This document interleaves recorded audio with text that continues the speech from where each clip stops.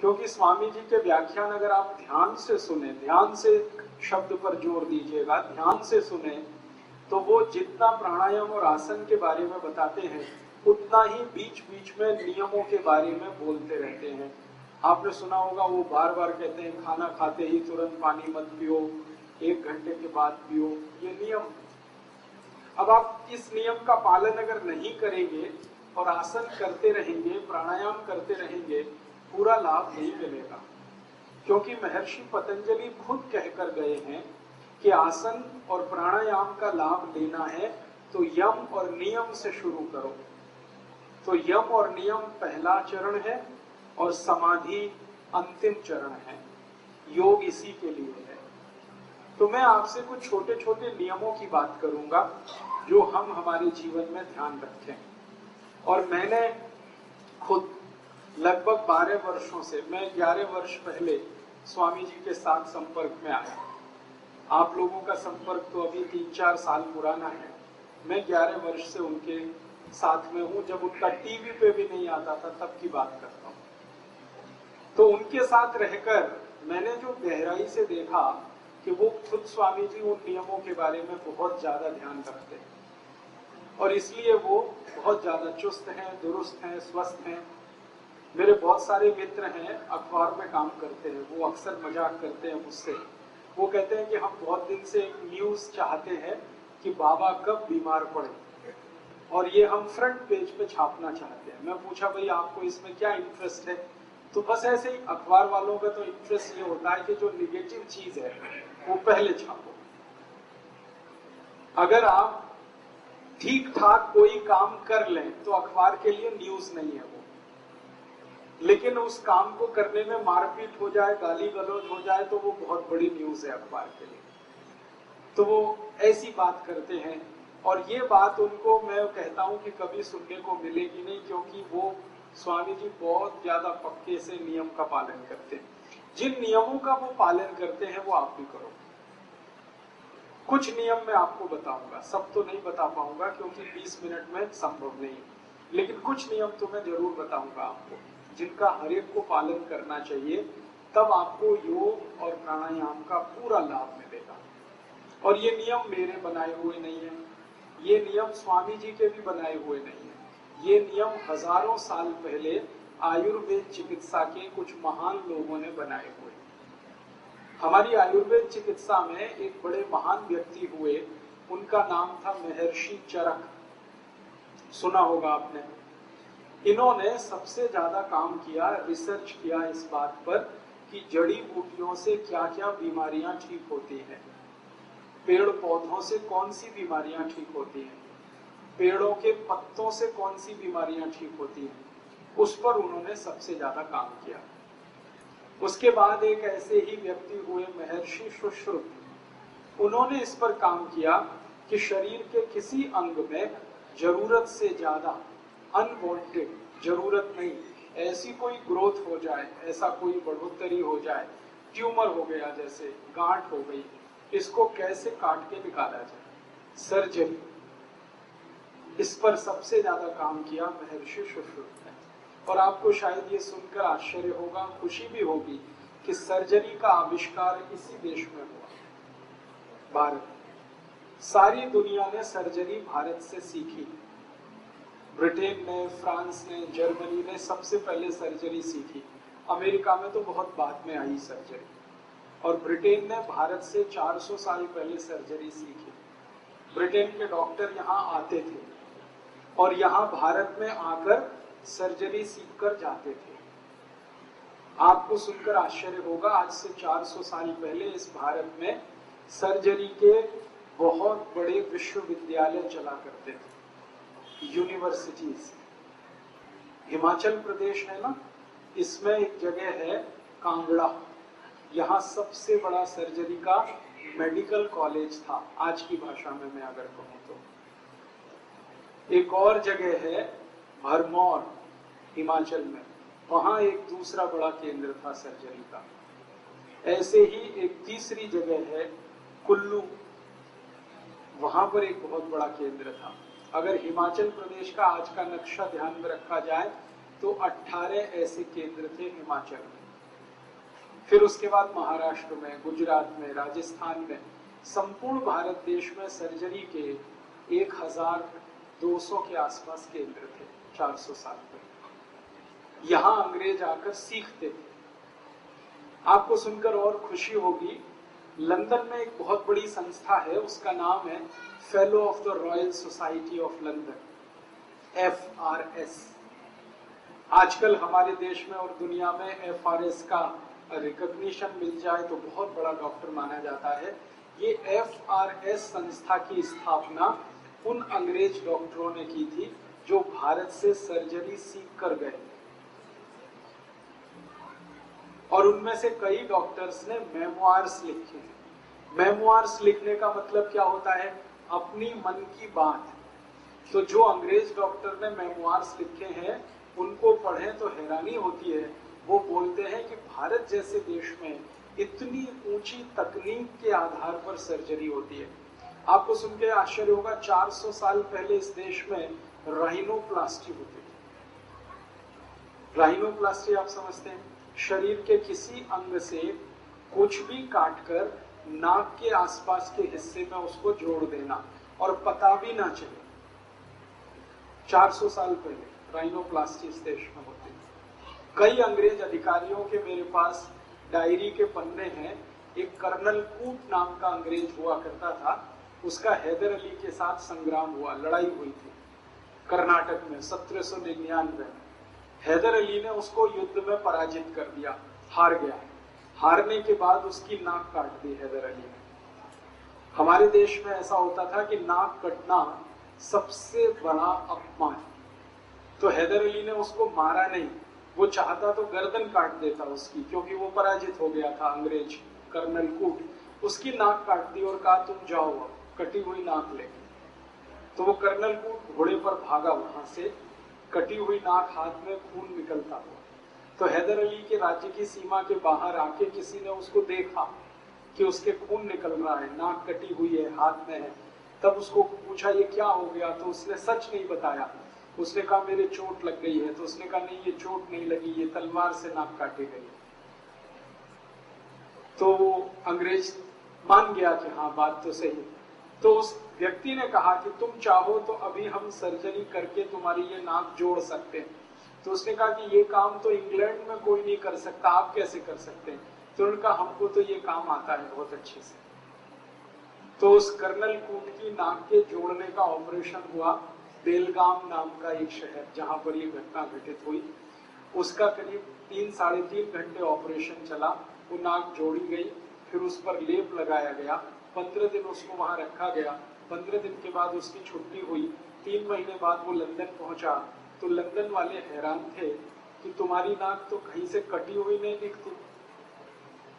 तब उसने अपनी डायरी में लिखा कि ये भारतीय सर्जरी का कमाल है।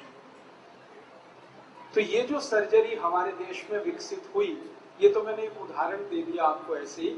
ये बहुत प्रयास किए इसके लिए महर्षि सुश्रुत ने, तब जाकर ये सर्जरी भारत में फैली। ऐसे ही हमारे देश में बहुत प्रयास किए महर्षि चरक ने तब जाकर आयुर्वेद चिकित्सा इस देश में फैली। आयुर्वेद चिकित्सा के बारे में भारत देश में ये कहा जाता है कि ये इतनी ही पुरानी है जितना पुराना भारत अब भारत उतना ही पुराना है जितने पुराने हमारे भगवान राम या कृष्ण, या शंकर, या महादेव, या ब्रह्मा, या विष्णु। इसका काल गणना बड़ा मुश्किल है। लेकिन एक अंदाज़ा हम लगा सकते हैं कि राम जी के जमाने में आयुर्वेद चिकित्सा खूब अच्छे से चलती थी।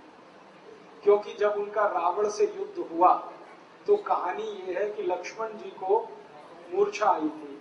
आज की भाषा में कहूँ तो लक्ष्मण जी कोमा में चले गए थे। कोमा वही होता है। और वो कई दिन बेहोश पड़े रहे थे। तब उनके बारे में चिंता हुई राम जी को कि कैसे इनको ठीक किया जाए। तो एक वैद्य को लाया गया। उनका नाम था वैद्य सुशेल। उन्होंने नब्ज देखकर कहा कि इनको बचाया जा सकता है। इनके लिए एक दवा चाहिए। संजीवनी बूटी। बूटी का माने पेड़ होता है। तो संजीवनी चाहिए। कहाँ मिलेगी? तो हिमालय पे मिलेगी। तो कौन लेके आएगा? तो हनुमान जी जाएँगे। अब हनुमान जी को पहचान नहीं, संजीवनी क्या है?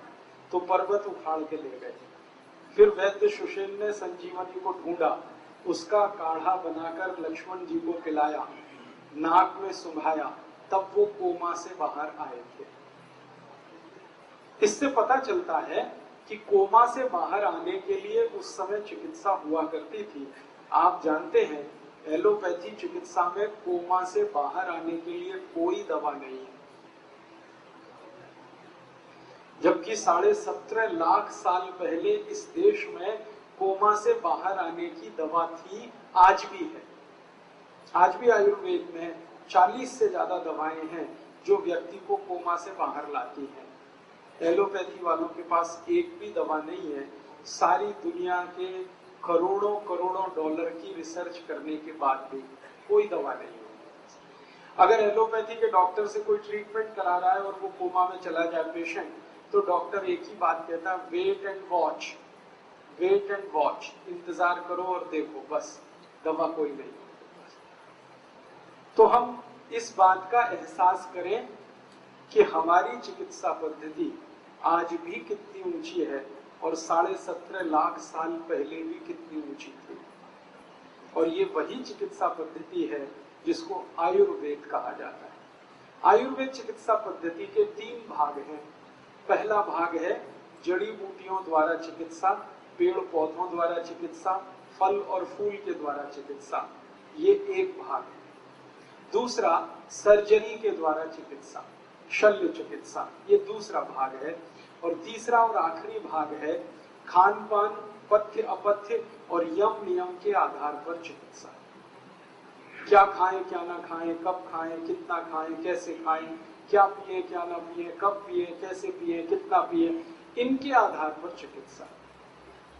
तो पहली जो चिकित्सा है, जड़ी बूटी, पेड़ पौधे, फल आदि, इनके मास्टर थे, पंडित थे महर्षि चरक दूसरी वाली जो चिकित्सा है, शल्य चिकित्सा, उसके पंडित थे शुश्रुत महर्षि शुश्रुत और तीसरी वाली जो चिकित्सा है, यम नियम, खान पान के नियम, इसके चिकित्सक सबसे बड़े थे महर्षि बागभट्ट आएगा। हमारी आयुर्वेद चिकित्सा का जो मूल सिद्धांत है, वो जान लेना चाहिए। सिद्धांत ये है कि कोई व्यक्ति बीमार कब पड़ता है और कोई व्यक्ति स्वस्थ कब रहता है। बीमार कोई भी व्यक्ति तब पड़ता है जब उसका वात पित्त और कफ तीनों असमान होते हैं, असंतुलित होते हैं। और कोई भी व्यक्ति स्वस्थ तब रहता है जब वात पित्त कफ तीनों उसके संतुलित होते हैं। तो वात पित्त कफ तीनों का संतुलन अगर है तो जीवन में आपको कभी रोग आएगा नहीं। और अगर वात पित्त कफ में असंतुलन है, टूट फूट है तो हमेशा रोग आने वाले हैं और आप परेशान हो जाने वाले वात के असंतुलन से हमारे शरीर में 80 रोग आते हैं 80 आठ और शून्य एट्टी पित्त के असंतुलन से हमारे शरीर में 40 रोग आते हैं। चार और शून्य चालीस। और कफ के असंतुलन से 28 रोग आते हैं। सबसे कम कफ के रोग हैं, सबसे ज़्यादा बाँध के रोग हैं, पित्त वाला बीच में। कफ के रोग क्या क्या हैं? मोटे मोटे कुछ रोग बताता हूँ ताकि आपको पता रहे। मोटापा होना ये कफ का सबसे खराब रोग वज़न बढ़ना ये कफ का सबसे खराब रोग थायराइड की समस्या पैदा होना ये कफ का सबसे खराब रोग है। Hyperthyroidism hypothyroidism. एक में थायराइड बढ़ता है, एक में घटता है। कफ की सबसे खराब समस्या। सर्दी होना, जुकाम होना, कफ की सबसे बड़ी समस्या। खांसी होना, बलगम जमा होना, कफ की सबसे बड़ी समस्या है। आँखों में मोतिया बिंद होना, जिसको आप कैटरेक्ट कहते हैं, ये कफ की समस्या है। कान में सुनाई नहीं देना, ये कफ की समस्या है। नाक से हमेशा पानी बहना, नजला होना, ये कफ की समस्या है। कान में से पानी आना, ये भी कफ की समस्या है। आँखों को लाल हो जाना, कफ की समस्या है। आँखों के आसपास काला घेरा हो जाना, कफ की समस्या है, जिसको डार्क सर्किल आजकल कहा जाता है। हमारे चेहरे पर फोड़े, फुंसी हो जाना, या तो कील गुहा से हो जाना, कफ की समस्या है। चेहरे की त्वचा का रंग बदल जाना, कफ की समस्या ऐसे कफ के 28 रोग मोटी सी एक जानकारी दूँ, अगर आप योग शिक्षक है तो आपको ये बहुत काम आएगी कि छाती से लेकर, यहाँ से लेकर मस्तिष्क के आखिरी हिस्से तक, इस इलाके के जितने रोग आप जानते हैं, वो सब कफ के रोग हैं। सबके सब अब छाती से लेकर और जंघा तक, यहाँ जितने भी रोग आप जानते हैं, वो सब पित्त के रोग। गैस बनना एसिडिटी होना हाइपर एसिडिटी होना अल्सर होना पेप्टिक अल्सर होना, खाते समय मुँह में पानी आना या मुँह का पानी बिल्कुल सूख जाना, बार बार डकार आना, खट्टी डकारें आना, हिचकियाँ आना ये सब पित्त की समस्याएँ हैं, पित्त के रोग। और इनकी संख्या चालीस है। ये छाती से लेकर जंघा के बीच वाले इलाके के रोग हैं सब पित्त के। किडनी खराब होना, लीवर खराब होना, किडनी में स्टोन होना, लीवर में सूजन होना, ये सब पित्त की समस्याएँ हैं। और खराब रोगों के नाम बताऊँ। जॉन्डिस होना, पीलिया होना, हेपेटाइटिस होना, ये सब पित्त के रोग हैं, पित्त की समस्याएँ। कई तरह के बुखार, पित्त की समस्या है और जंघा से लेकर और आखिरी पॉइंट जो आपका है, नाखून, अंगूठे का, इस इलाके के जितने भी रोग हैं, वो सब वात की समस्या है घुटने दुखना, घुटने के नीचे का तल्ली दुखना घुटने में ऐठन होना, क्रैम्प होना तरह तरह के ये सब बात के रोग सबसे ज़्यादा बात के रोग हैं, मैं बोला आपको 80 उसके बाद पित्त के हैं 40 और सबसे कम कफ के रोग हैं। अब आपको ज़िंदगी भर एक ही चीज़ ध्यान रखनी है कि वात, पित्त, कफ तीनों संतुलित रहे आपके तो आप रोगी नहीं हो सकते। तो आपको करना क्या है? वात, पित्त, कफ तीनों को संतुलन रखने के लिए महर्षि बागभट्ट के कुछ सूत्र याद रखने और याद रख के उनको जीवन में पालन करना है। पहला सूत्र है उनका, खाना खाने के बाद कभी भी पानी नहीं पीना। ये पहला सूत्र खाना खाने के बाद कभी भी पानी नहीं पीना। सूत्र को उन्होंने लिखा है जिस तरह से वो मैं बताता हूँ। ये मैंने भाषांतर करके बोल दिया आपको, खाना खाने के बाद पानी नहीं पीना। महर्षि बागवट ने ऐसे नहीं लिखा। उन्होंने लिखा है भोजनांते विषम वारी। ऐसे लिखा भोजनांते माने भोजन अंते। भोजन अंते माने भोजन के अंत में विषम। विषम माने विष के जैसा। वारी वारी माने पानी। भोजन के अंत में पानी विष के जैसा है। ये है सूत्र। मतलब भोजन के अंत में पानी ना पिए मैंने सरल कर दिया उसको। अब क्यों ना पिए? कारण उसका एक है कि हम जब खाना खाते हैं, खाना सारा पेट में इकट्ठा होता है। एक स्थान है उसको जठर कहते हैं। जठर स्थान पे खाना जब आता है तो अपन अपने आप अग्नि जलती है। उसको जठर अग्नि कहते हैं। खाना खाते ही पेट में अग्नि है, वो जठर अग्नि है। अग्नि जलती है तो खाना पचता है। अग्नि नहीं जलती तो खाना नहीं पचता। तो आपने खाना खा लिया, पेट में अग्नि जली। अग्नि ने जैसे ही जलना शुरू किया, आपने पानी पी लिया। और खूब ठंडा पानी पी लिया चिल्ड वाटर फ्रिज से निकाल के बोतल गटक लिया अब क्या होगा? अग्नि बुझ गई। अग्नि बुझ गई तो खाना नहीं बचेगा तो खाना सड़ेगा। और सड़ा हुआ खाना 103 बीमारियाँ पैदा करेगा। सबसे ज़्यादा बीमारियाँ इसी में आती इसलिए बागवती जी ने पहला सूत्र ये लिखा भोजनांते विषम वारी। खाने के बाद पानी नहीं पीना। तो आप बोलेंगे, कब पीना? खाना जब आप खाते हैं तो अग्नि जलने की जो क्रिया है, वो एक घंटे से शुरू होकर डेढ़ घंटे तक चलती है। खाना खाने के बाद अग्नि जलने की क्रिया एक घंटे से डेढ़ घंटे तक चलती है और डेढ़ घंटे के बाद वो अपने आप शांत हो जाती है। उसके बाद क्या होता है? अग्नि जब शांत हो जाती है तो जो आपने खाया है, उसका रस बनना शुरू होता है। ये रस बनने की क्रिया लगभग और एक से डेढ़ घंटे चलती है। फिर रस बनने के बाद क्या होता है?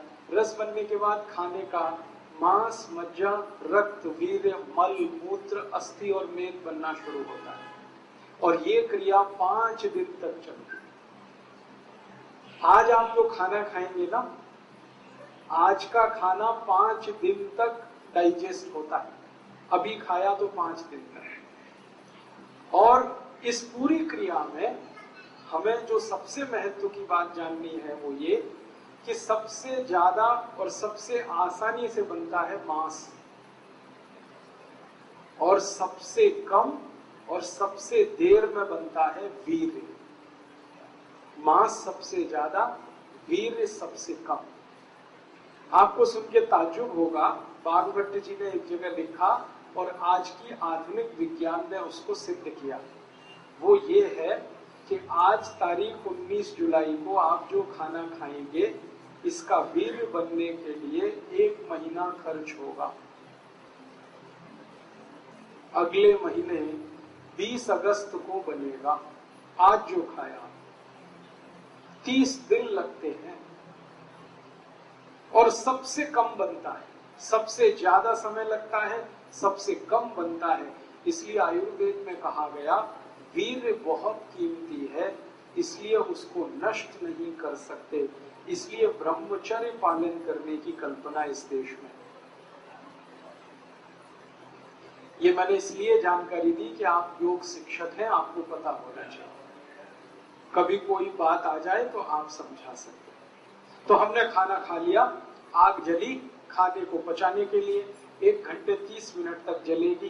तब तक पानी अगर आपने पिया तो आग बुझेगी। आग बुझेगी तो फिर आगे की क्रिया रुकेगी। इसलिए आगे की क्रिया ना रुके, आग ना बुझे तो सरल बात कही गई, खाना खाने के बाद पानी ना पिए, एक घंटे से डेढ़ घंटे। तो आज के बाद आप सभी से मेरी प्रार्थना है। आप योग शिक्षक हैं या योग साधक हैं, दोनों को ही मेरी प्रार्थना है कि इस नियम का पालन करें। खाना खाने के एक घंटे से डेढ़ घंटे के बाद पानी पिए। एक घंटा किसके लिए और डेढ़ घंटा किसके लिए? दो शब्द में बोल रहा हूँ, एक से डेढ़ घंटा।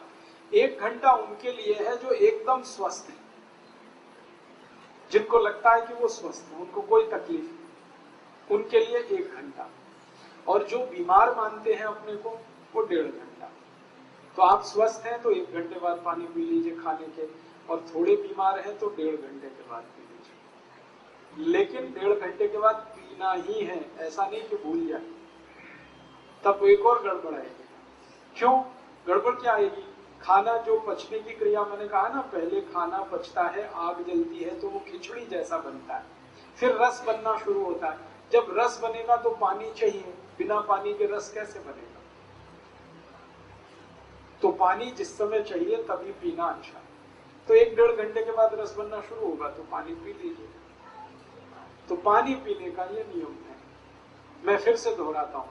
खाना खाने के एक से डेढ़ घंटे के बाद पानी पिए। ठीक है?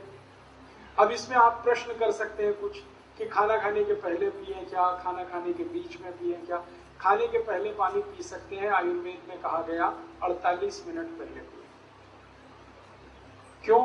जब आप पानी पीते हैं तो पेट में पानी जाता है तो पानी का अंतिम स्थान है मूत्र पिंड पहला स्थान है मुँह, जहाँ से ये जाना शुरू होता है। अंत में आता है सारा पानी मूत्र पिंड में। फिर उसके बाद ये मूत्र के द्वारा बाहर निकलता है। तो मूत्र पिंड में पानी पहुँचने के लिए 48 मिनट लगता है। तो आप खाने के पहले 48वें मिनट में पानी पी सकते हैं। बीच में पानी कब पिए खाने में? जब आप दो अन्न का खाना खाएँ, गेहूँ की रोटी खाएँ और चावल खाएँ, दो अन्न का खाना है तो आप गेहूँ की रोटी खाने के बाद और चावल खाने से पहले थोड़ा पानी पिए। कितना पिए? तीन चार घूट बस, ज़्यादा। और इसमें आखिरी जानकारी कि खाना खाने के बाद अगर सच में प्यास लग रही है तो क्या पी तो आयुर्वेद में कहा गया तीन चीज़ें पी सकते हैं। दही की लस्सी पिए, खाना खाने के तुरंत बाद। दूध पिए, गाय का हो तो बहुत अच्छा। और जूस पिए, फल के रस पी खाने के तुरंत बाद अगर प्यास लगती है तो जूस पी सकते हैं, लस्सी पी सकते हैं और दूध पी सकते हैं। जूस पीने का समय है सवेरे। लस्सी पीने का समय है दोपहर को और दूध पीने का समय है रात को। तो जूस पीना है सवेरे खाने के बाद माने ब्रेकफास्ट लस्सी पीनी है दोपहर के खाने के बाद माने लंच और दूध पीना है रात को माने डिनर तो ये नियम पूरा हो गया। समझ में आ गया? कर लेंगे। बस आदत बदलनी है आपको बागवती जी ये कहते हैं कि जो इस नियम का पालन करे 103 बीमारियों से जीवन भर बचेगा। अब बताओ कितना सस्ता सौदा है। 103 बीमारियाँ एक तरफ़ और ये छोटा सा नियम एक तरफ़। तो आप ध्यान रखिए इस नियम का। दूसरा नियम है, पानी जब भी पिए, घूट भर के पिए, सिप करके पिए। जैसे चाय पीते हैं, जैसे कॉफ़ी पीते हैं, गर्म दूध पीते हैं, ऐसे पानी पिए। ऐसे कभी भी पानी ना पिए, गिलास लगाया और लगातार पिया। ये गलत तरीका है। पानी पीने का तरीका है, एक घूट पिया, थोड़ी देर रुके, एक घूट पिया, फिर रुके, फिर पिया, फिर रुके, फिर ऐसे पानी पिया इसका क्या लाभ है? मुँह में आप जानते हैं, लार बनती है। ये लार जो है ना, पेट के तेजाब को शांत रखती है। पेट का जो तेजाब है ना, वो एसिडिक है, विज्ञान की भाषा और मुँह की लार जो है वो एल्किलाइन है, क्षारीय है। तो ये क्षार है, यहाँ अम्ल है। अम्ल और क्षार मिले तो एक दूसरे को न्यूट्रल करते हैं। तो मुँह की लार बार बार पेट में जाए ताकि पेट का तेजाब शांत रहे, इसके लिए कहा गया घूट घूट पानी पी थोड़ा थोड़ा करके पानी पी ठीक है? आयुर्वेद में कहा जाता है कि जिनके पेट का अम्ल शांत रहता है, तेजाब शांत रहती है उनको ज़िंदगी में रोग नहीं आते। अम्लता अगर आपकी शांत है एसिडिटी कोई रोग आने की संभावना नहीं। दुनिया के सारे खराब रोग, जैसे कैंसर जैसे डायबिटीज़ जैसे ब्लड प्रेशर बहुत तेज होकर हार्ट अटैक आना। ब्लड प्रेशर बहुत ज़्यादा बढ़कर ब्रेन हेमरेज हो जाना। ब्लड प्रेशर बहुत ज़्यादा बढ़कर पैरालिसिस हो जाना। ये सब खराब बीमारियाँ एसिडिटी से शुरू होती जब रक्त में एसिडिटी बढ़ती है, तब ये बीमारियाँ अपने चरम पर पहुँचती है। लेकिन रक्त में एसिडिटी बढ़ती कहाँ से है? वो पेट से बढ़ती है। पेट में एसिडिटी कब बढ़ेगी? जब आप घूट घूट पानी नहीं पिएँगे तो लार बार बार अंदर नहीं जाएगी तो समस्या आएगी इसलिए आयुर्वेद में कहा गया, पानी घूट घूट पिए तीसरा नियम है, सवेरे सोकर उठे, सबसे पहले पानी पिए। वहाँ स्वामी जी का आपने सुना होगा व्याख्यान तो उषा पान की बात वो करते हैं। उषा पान का मतलब यही है, उठते ही पानी पीना। हालाँकि उषा पान का सही अर्थ है, सवेरे साढ़े चार बजे उठकर पानी पीना। क्योंकि उषा का वही समय है। अब दिल्ली वासियों के लिए मैं ये नहीं कह सकता कि वो सवेरे साढ़े चार बजे उठें। क्योंकि उनका साढ़े चार बजे उठना तब संभव है, जब रात को आठ बजे सो जाए। आठ बजे दिल्ली में सोना तो स्वर्ग की बात है, कल्पना की बात, संभव ही नहीं। इसलिए मैं कहता हूँ, जब उठें तो पहले पानी पिए। आपकी जब दिन हो जाए, जब सवेरा हो जाए, उठते ही पानी पिए। कम से कम तीन गिलास, बिना प्यास के, घूट घूट भर के। कोई कहेगा, हमें प्यास नहीं लगती तो भी पीना ही है ये। घूट घूट भर के। इस पानी का फ़ायदा, सबसे बड़ा फ़ायदा इसका ये है रात को आप सो गए। सोने के बाद मुँह में लार बनी वो जमा है। घूट घूट पानी पी लेंगे, सब लार नीचे चलेंगे दूसरा फ़ायदा, उठते ही आप पानी पिएँगे तो पानी सारा बड़ी आंत में जाएगा। बड़ी आंत में मल फंसा रहता है लार्ज इंटेस्टाइन में। तो मल को बाहर निकालेगा। जैसे ही पानी मल को निकालना शुरू करेगा, प्रेशर एकदम बनेगा आपको। आप तुरंत टॉयलेट में जाएँगे और पाँच मिनट में फ्रेश होकर वापस आएँगे आयुर्वेद में कहा गया कि जो सवेरे एक बार मुक्त हो जाते, माने फ्रेश हो जाते, माने जिनको सवेरे एक बार पूरा खुलकर पेट साफ़ हो जाता है, उनकी ज़िंदगी में कोई रोग नहीं आता। इसलिए सुबह उठते ही पानी पीना बहुत ज़रूरी दांत साफ़ करना नहीं है, पहले पानी पीना है। दांत साफ़ करना है तो रात को करें और उठते ही पानी पिए। चौथा नियम है ठंडा पानी कभी भी ना पिए।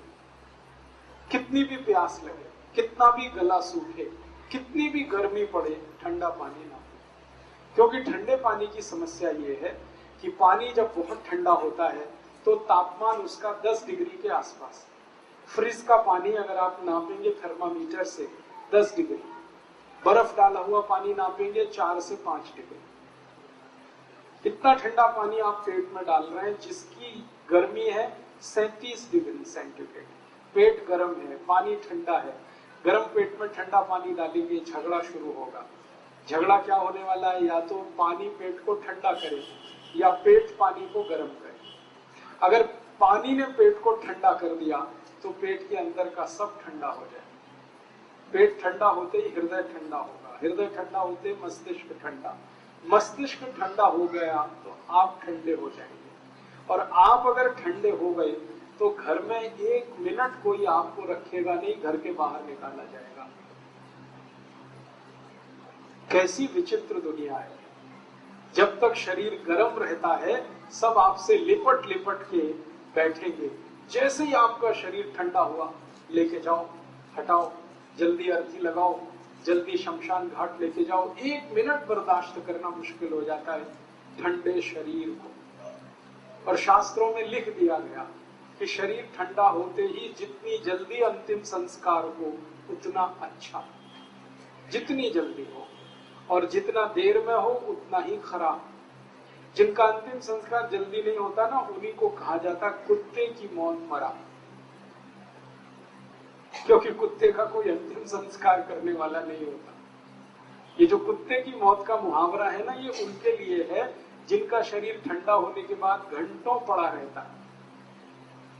अभी तो हम जानबूझ के रखते हैं, बर्फ़ की सिल्लियाँ लाकर रखते हैं। अब मजबूरियाँ हैं, बेटा अमेरिका में है, बेटी कनाडा में है तो अब कैसे आएँगे, जब तक नहीं आएँगे, तब तक रखना पड़ेगा। शास्त्र के विरुद्ध है ये, नियम के विरुद्ध है। तो आपको मैं जो समझाना चाहता हूँ, वो ये कि शरीर ठंडा मत होने दीजिए, इसको गर्म रखिए। तो ठंडा शरीर ना हो इसके लिए ठंडा पानी मत पीजिए। नहीं तो क्या होगा, ठंडा पानी बार बार पीते रहेंगे, शरीर में तकलीफें शुरू होंगी। उसकी सबसे बड़ी तकलीफ़ क्या होती है कि जब बहुत ठंडा पानी आप पी लेते हैं तो शरीर का जो पेट है वो पानी को गर्म करता है। पानी को गर्म करने में पेट को एनर्जी चाहिए, ऊर्जा चाहिए, और वो ऊर्जा ब्लड में से ही आ सकती है, खून में से आ सकती है, और खून को फिर सारे शरीर से पेट की तरफ़ दौड़ना पड़ेगा, तब पानी गर्म होगा। शरीर का सारा खून पेट में जाने लगे तो बाकी अंगों को खून की कमी पड़ जाएगी, और वो खून की कमी हमेशा के लिए कोई डैमेज कर जाएगी। इसलिए आयुर्वेद कहता है, कभी भी ठंडा पानी गलती से भी ना पिए। ठीक है? चार नियम हो गए। पांचवा नियम है, हमेशा खाना खाएँ तो चबा चबा कर खाएँ। इतना चबाएँ जितने आपके दांत। दांत आपके बत्तीस हैं तो बत्तीस बार चबाएँ ताकि अच्छे से लार मिलकर अंदर जाए और अच्छे से खाना पचे। इसके बाद छठा नियम है कि खाना जब भी खाएँ तो ज़मीन पर बैठ के खाएँ। ज़मीन पर बैठने से क्या होता है? पृथ्वी का गुरुत्व बल हमारे पेट पर केंद्रित है। पेट की नाभि पर गुरुत्वाकर्षण होने से नाभि चार्ज है। नाभि के पड़ोस में जठर है, वो चार्ज है। जठर के चार्ज होने से अग्नि तेज होगी, खाना जल्दी पचे। इसलिए बैठ उसके आगे का सातवां नियम है, दोपहर को जब आप खाना खाएँ तो आराम ज़रूर करें। कम से कम अड़तालीस मिनट। क्योंकि दोपहर को खाना खाते ही हमारे शरीर का ब्लड प्रेशर बढ़ता है। एक तो सूरज की धूप होती है दोपहर को, और अंदर की गर्मी। दोनों मिलाकर ब्लड प्रेशर बढ़ता है। बीपी बढ़ेगा तो आराम ही करना पड़ेगा। काम नहीं कर सकते। तो दोपहर का खाना खा के आराम करें।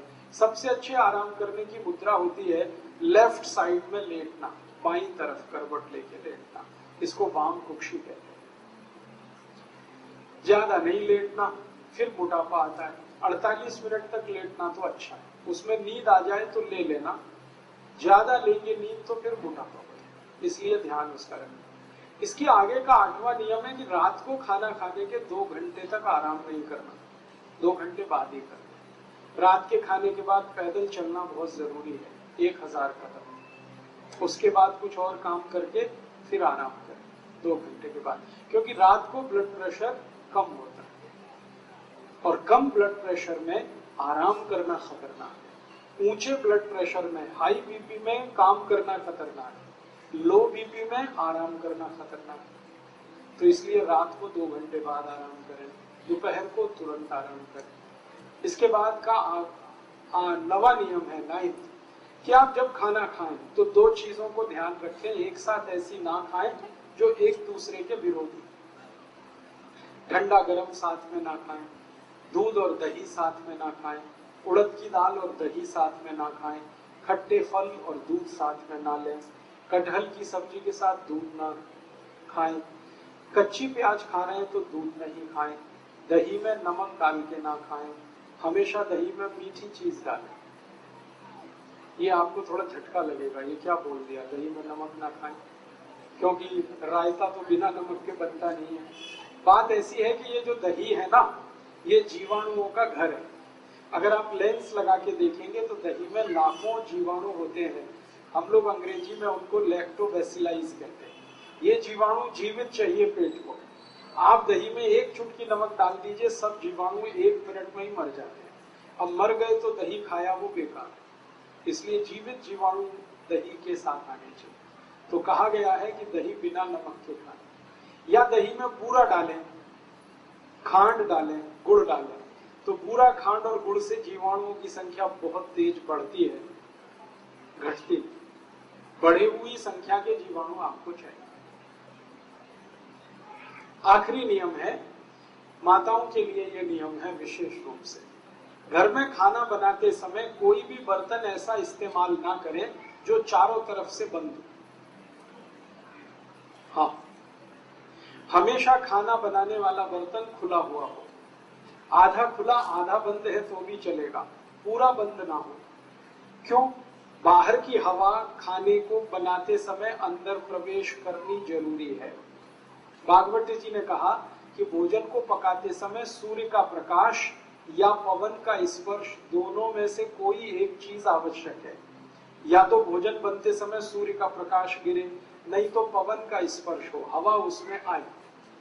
अब ये तभी संभव है जब बर्तन खुला हुआ हो। मतलब सीधा सा ये है, भागवत जी कह रहे हैं प्रेशर कुकर में खाना ना हो। अब प्रेशर कुकर बागवती जी के जमाने में नहीं था, लेकिन नियम उन्होंने तभी लिख दिया। उनको शायद ये अंदाज़ा था कि ये आदमी किसी न किसी दिन बना लेगा इसको। अब ये बात मैंने मज़ाक में कही, लेकिन ये बड़ी गंभीर बात है। ये प्रेशर कुकर का चक्कर बड़ा खराब है। आप जानते हैं प्रेशर कुकर एल्यूमिनियम का है। एल्यूमिनियम दुनिया का सबसे खराब मेटल है, धातु है, खाना बनाने के लिए और पकाने के लिए। मैंने एक सर्वे किया था आज से दस साल पहले कि गरीबों को सबसे ज़्यादा अस्थमा, दमा और टीबी क्यों होती है? गरीबों को। उस सर्वे का रिज़ल्ट आया कि सारे गरीब लोग एल्यूमिनियम के बर्तन में खाना बनाते हैं और खाते हैं, यही उनके दमा और अस्थमा का कारण और टीबी का कारण अब हमने घर में अगर लाया है प्रेशर कुकर तो ये भी तो दमा और अस्थमा की बीमारी ही है। आप इसे ना इस्तेमाल करें। तो उसकी जगह क्या करें? भगोने में बनाए दाल, कढ़ाई में बनाए, भगोने में बनाए। मैं सबको ये सुझाव देता हूँ, प्रेशर कुकर हटा के मिट्टी की हांडी ले आए। बहुत सस्ती आती है, बीस पच्चीस रुपए की आती है। और हांडी में दाल पकाएँ, हांडी में ही चावल पकाएँ। हांडी में खिचड़ी बनाएँ। हमारे देश में, गाँव में अभी भी ऐसे ही चलता है। हांडी में भोजन बनता है। हांडी में दूध बनाया जाता है और दूध हांडी में जब पकता है ना तो एकदम लाल सुर्ख हो जाता है। वो दूध का स्वाद ही अलग होता है। हांडी में हाँ हाँ बताता हूँ अभी गैस पे कैसे चलेगी हांडी। हांडी में दही भी जमाया जाता है, बहुत अच्छा स्वाद। आप कभी कलकत्ता जाए तो वहाँ मीठा दही ज़रूर खाएँ। कलकत्ता वाले उसको मिष्ठी दही बोलते हैं। वो सब हांडी में ही हांडी में गर्म करेंगे, हांडी में ही जमाएँगे। तभी उसमें टेस्ट आता, नहीं तो टेस्ट ही नहीं आता। बड़े बड़े फाइव स्टार होटल में मिष्टी दही कलकत्ता से आता है। कलकत्ता में तो बहुत सस्ता है, लेकिन फाइव स्टार होटल में वही पाँच सौ, साढ़े पाँच सौ रुपए का हो जाता है थोड़ा दही। और अब तो फाइव स्टार होटलों में हांडी की दाल भी मिलती है, ढाई सौ रुपए की एक कटोरी। आप यहाँ जाइए ना। हयात जो यहाँ का दिल्ली का बड़ा रीजेंसी में चले जाइए हयात में चले जाइए इंपीरियल में चले जाइए अशोका इन में चले जाइए सब जगह हांडी की दाल है। लेकिन एक कटोरी 240, 250, 260 ये कीमत है। 250 में तो कम से कम 10 हांडी आती है। लोग जाते हैं वहाँ खाने के लिए हांडी की दाल। लेकिन घर में हांडी लाके क्यों नहीं पकाते? तो आप कहेंगे गैस पे नहीं चलेगी, बहुत अच्छे से चलेगी। हांडी को गैस पे चलाने का सबसे सरल उपाय है, गैस को धीमा रखो। कभी भी तेज गैस किया तो हांडी चटक जाएगी हल्की आँच रखो तो हांडी कभी नहीं टूटती। और मान लो टूट भी गई तो दूसरी ले लेना। कौन सी ऐसी आफत है? हिंदुस्तान में डेढ़ करोड़ कुम्हार हैं जो ये बनाते हैं। वो भूखमरी के शिकार हैं, क्योंकि आप खरीदते ही नहीं उनकी हांडी। आपने तो कुकर ला ला के कुम्हारों को बेकार कर दिया। रेफ्रिजरेटर ले आए तो घड़े बिकने बंद हो गए उनके जब से कुकर आ गया, उनकी हांडियाँ बिकनी बंद हो गई। प्लास्टिक के गिलास आ गए तो कुल्लड़ बिकने बंद हो गए उनके। हमने मोमबत्ती लगाना शुरू कर दिया तो दिए बनने बिकने, दीपक बिकने बंद हो गए। डेढ़ करोड़ कुमार भुखमरी के शिकार है। इसलिए वो सरकार से कहते हैं, हमको आरक्षण चाहिए, क्योंकि अब उनका काम धंधा तो टूट रहा है। तो आप उनकी थोड़ी तो चिंता करो। कुछ खरीदो उनका तो उनकी ज़िंदगी चले, उनका रोज़गार बढ़े। तो सबसे आसान है कि हांडी खरीदना शुरू कर दो, दाल चावल उसमें बनाओ और वही खाओ। इसका सबसे बड़ा फ़ायदा जो मैं कहना चाहता हूँ वो ये कि आप जानते हैं हांडी मिट्टी की है, और मिट्टी में सबसे ज़्यादा कैल्शियम है। मिट्टी में सबसे ज़्यादा फॉस्फोरस है। कैल्शियम और फॉस्फोरस हमारे शरीर का सबसे महत्वपूर्ण केमिकल है। बिना कैल्शियम के शरीर नहीं हो सकता। बिना फॉस्फोरस के शरीर नहीं हो सकता। ये कैल्शियम और फॉस्फोरस सबसे ज़्यादा मिट्टी में है। फिर उसके बाद आयरन चाहिए हमको। आयरन भी सबसे ज़्यादा मिट्टी में है।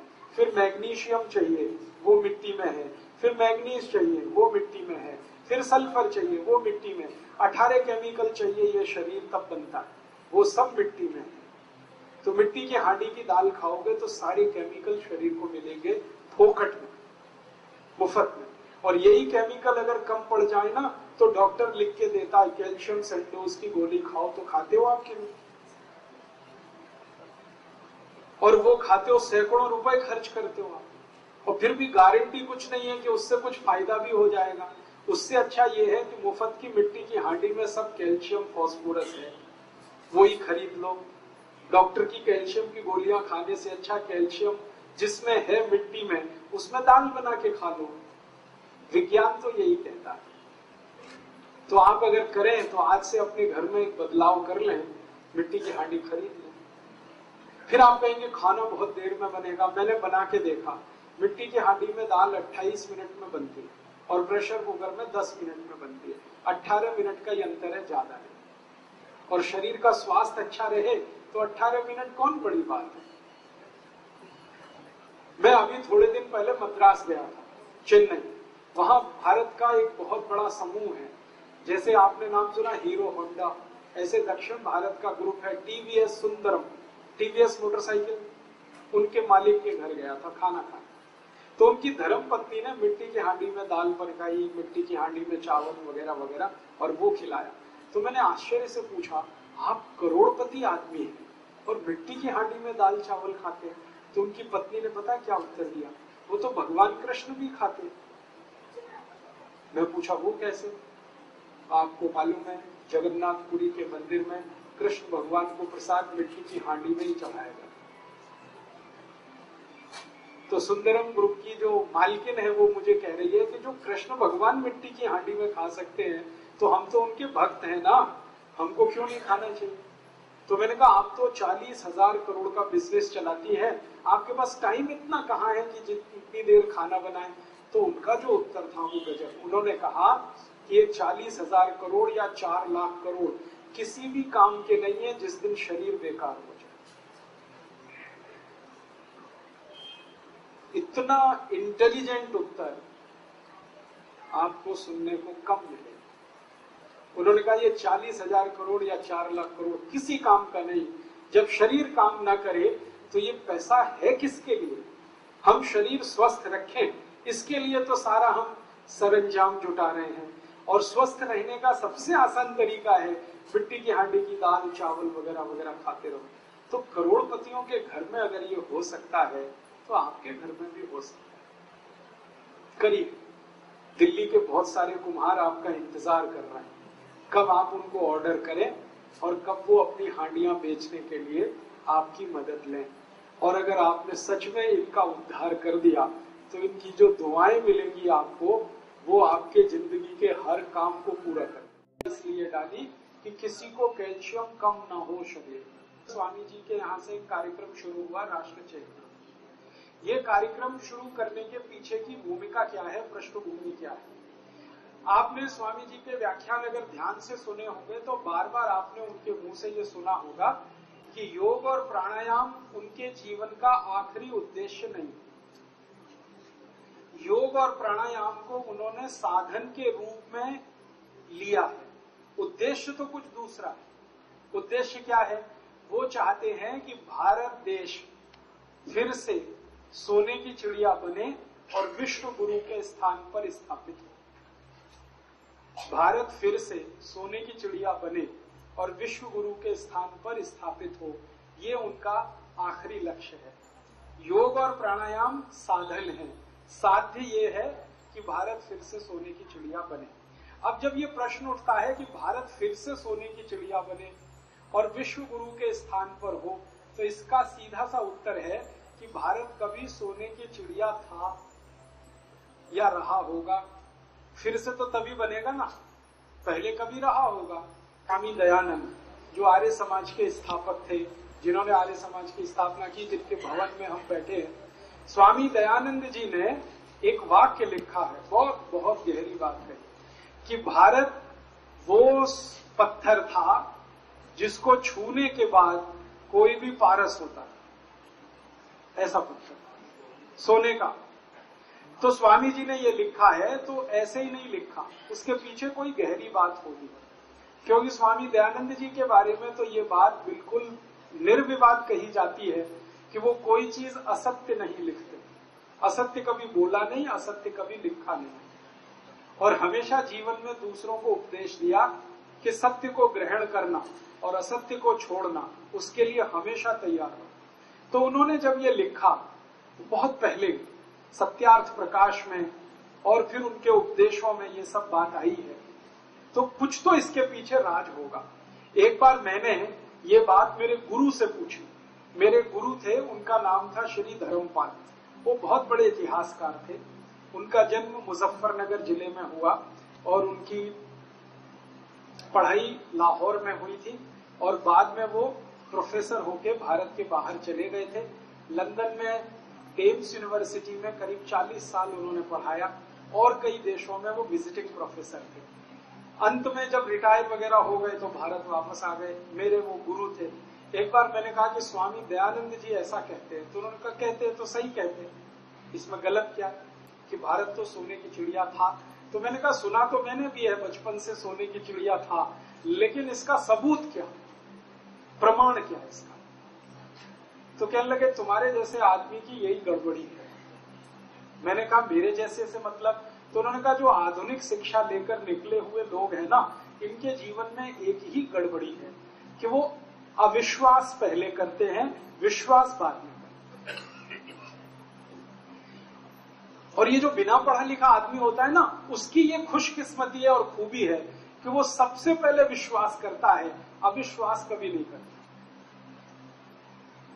इसका मतलब इस पढ़ाई लिखाई ने हमको खराब कर दिया, अविश्वासी बनाया। हम जल्दी भरोसे ही नहीं करते किसी चीज़ में मुझे भी नहीं होता। क्योंकि मैं भी इसी आधुनिक शिक्षा में से पढ़कर निकला हुआ तो मैंने मेरे गुरु से कहा कि मुझे तो होता नहीं विश्वास। अब आप कहते हैं, स्वामी दयानंद ने कहा है तो मुझे तो प्रमाण दिखाओ। तो उन्होंने कहा अच्छा तुमको प्रमाण चाहिए तो लंदन जाओ। मैं पूछा, क्यों? लंदन क्यों? तो उनका सब प्रमाण वहीं पे हैं।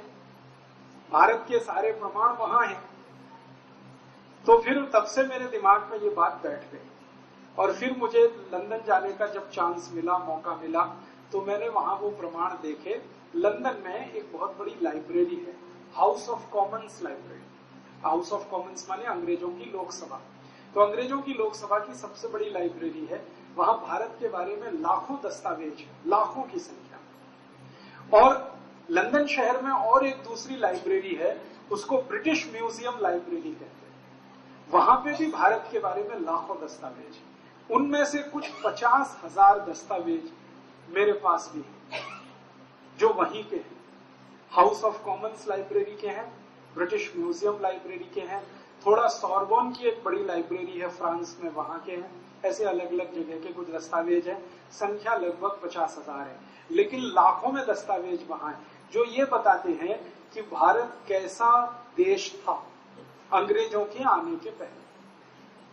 अंग्रेज़ों के आने के पहले ये देश कैसा था, एक दस्तावेज़ का ज़िक्र करता हूँ। सन 1813 में ब्रिटिश पार्लियामेंट के हाउस ऑफ़ कॉमन्स में एक बहस हो रही थी। तारीख बताता हूँ आपको। 23 जून 1813 ब्रिटिश पार्लियामेंट के हाउस ऑफ़ कॉमन्स में बहस हो रही थी। अंग्रेज़ों का एक सांसद बोल रहा था। उसका नाम था विलियम विल्वर फोर्स साढ़े तीन घंटे वो भाषण दिया उस भाषण में वो भारत के बारे में ज़िक्र किया। उसने भाषण की शुरुआत की थी हाउ टू क्रिश्चनाइज इंडिया भाषण की शुरुआत हुई थी, भारत को ईसाई कैसे बनाया जाए। यहाँ से शुरू किया। उसका पूरा भाषण मेरे पास है। उसमें वो कहता है कि भारत को ईसाई बनाना। क्यों बनाना? है इसलिए बनाना है कि ये देश धन धान्य से भरपूर है। भारत। और इसलिए बनाना है कि अंग्रेज़ों का देश बहुत गरीब है। तो अंग्रेज़ों को गरीबी मिटानी है तो वो भारत की अमीरी से मिट सकती माने भारत का पैसा लंदन आता रहे तो भारत तो जो हो, सो हो। हम अमीर हो जाएँगे और वो ये बात अपने देश के बारे में कह रहा है, क्योंकि आज से ढाई सौ साल पहले इंग्लैंड में बहुत भूखमरी थी। इतने लोग भूख से मरते थे कि सन 1400 से 1500 के बीच में साढ़े तीन करोड़ अंग्रेज़ लोग भूख से मर गए अंग्रेज़ों की आज जनसंख्या सात करोड़ है और आधी जनसंख्या मर गई थी। गरीबी के कारण इतनी भूखमरी होती थी। तो बिल्वर फोर्स कह रहा, हम बहुत गरीब हैं।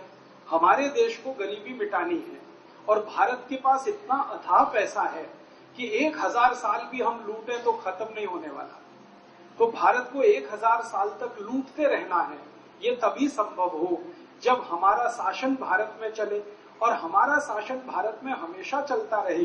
ये तब संभव हो जब भारत के लोग ईसाई हो जाए। जो राजा का धर्म है वो ही प्रजा का हो जाए तो प्रजा और राजा में टक्कर नहीं होगी, टकराव नहीं होगा। जैसे हम होंगे, वैसी प्रजा हो जाएगी। तो इसलिए भारत को ईसाई बनाना।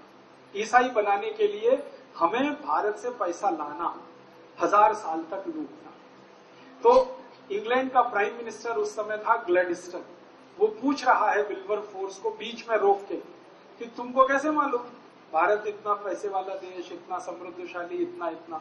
तब वो कहता है कि हमारी जो ईस्ट इंडिया कंपनी भारत में गई है, उसके अधिकारियों ने सर्वेक्षण किए हैं। ऐसे सर्वेक्षण की कुछ रिपोर्ट्स मेरे पास हैं, जो मैं आपको बताना चाहता हूँ। तो प्राइम मिनिस्टर ने कहा, बताओ तो एक सर्वे की रिपोर्ट वो कोट कर रहा है और कह रहा है कि भारत का सारी दुनिया में 33 प्रतिशत निर्यात हो रहा है। इसको फिर से सुनिए। सारी दुनिया में भारत का निर्यात 33 प्रतिशत हो रहा है। माने वर्ल्ड का टोटल मार्केट में 33 परसेंट कॉन्ट्रीब्यूशन भारत का है। दुनिया में अगर 100 अरब डॉलर का माल बिक रहा है तो 33 अरब डॉलर का माल भारत का बिक रहा है। फिर वो कहता है भारत के बाद जो दूसरे नंबर पर हाईएस्ट एक्सपोर्टिंग कंट्री है, वो चीन है, जिसका 27 प्रतिशत माल दुनिया में बिक रहा है। और भारत और चीन दोनों को मिला दिया जाए तो आधे से ज़्यादा माल तो ये दो ही देशों का बिक रहा है पूरी दुनिया। तो वो कोट कर रहा है सर्वे की रिपोर्ट को। अब ये जो 33 प्रतिशत एक्सपोर्ट हो रहा है तो फिर वो पूछ रहा है प्राइम मिनिस्टर क्या क्या एक्सपोर्ट हो रहा है भारत से? तो वो बोल रहा है सबसे ज़्यादा एक्सपोर्ट होता है भारत से, वो है कपड़ा। टेक्सटाइल इंडस्ट्री हमारी सबसे अच्छी आपको मालूम है, यहाँ मलमल बनता था, मलमल की थान होती थी। बारह गज लंबा मलमल का थान तह करते हुए एक दिया सलाई के डब्बे में रख सकते थे, इतनी बारीक बुनाई होती थी। तो वो बिल्वर फोर्स कह रहा हाईएस्ट एक्सपोर्ट है टेक्सटाइल का।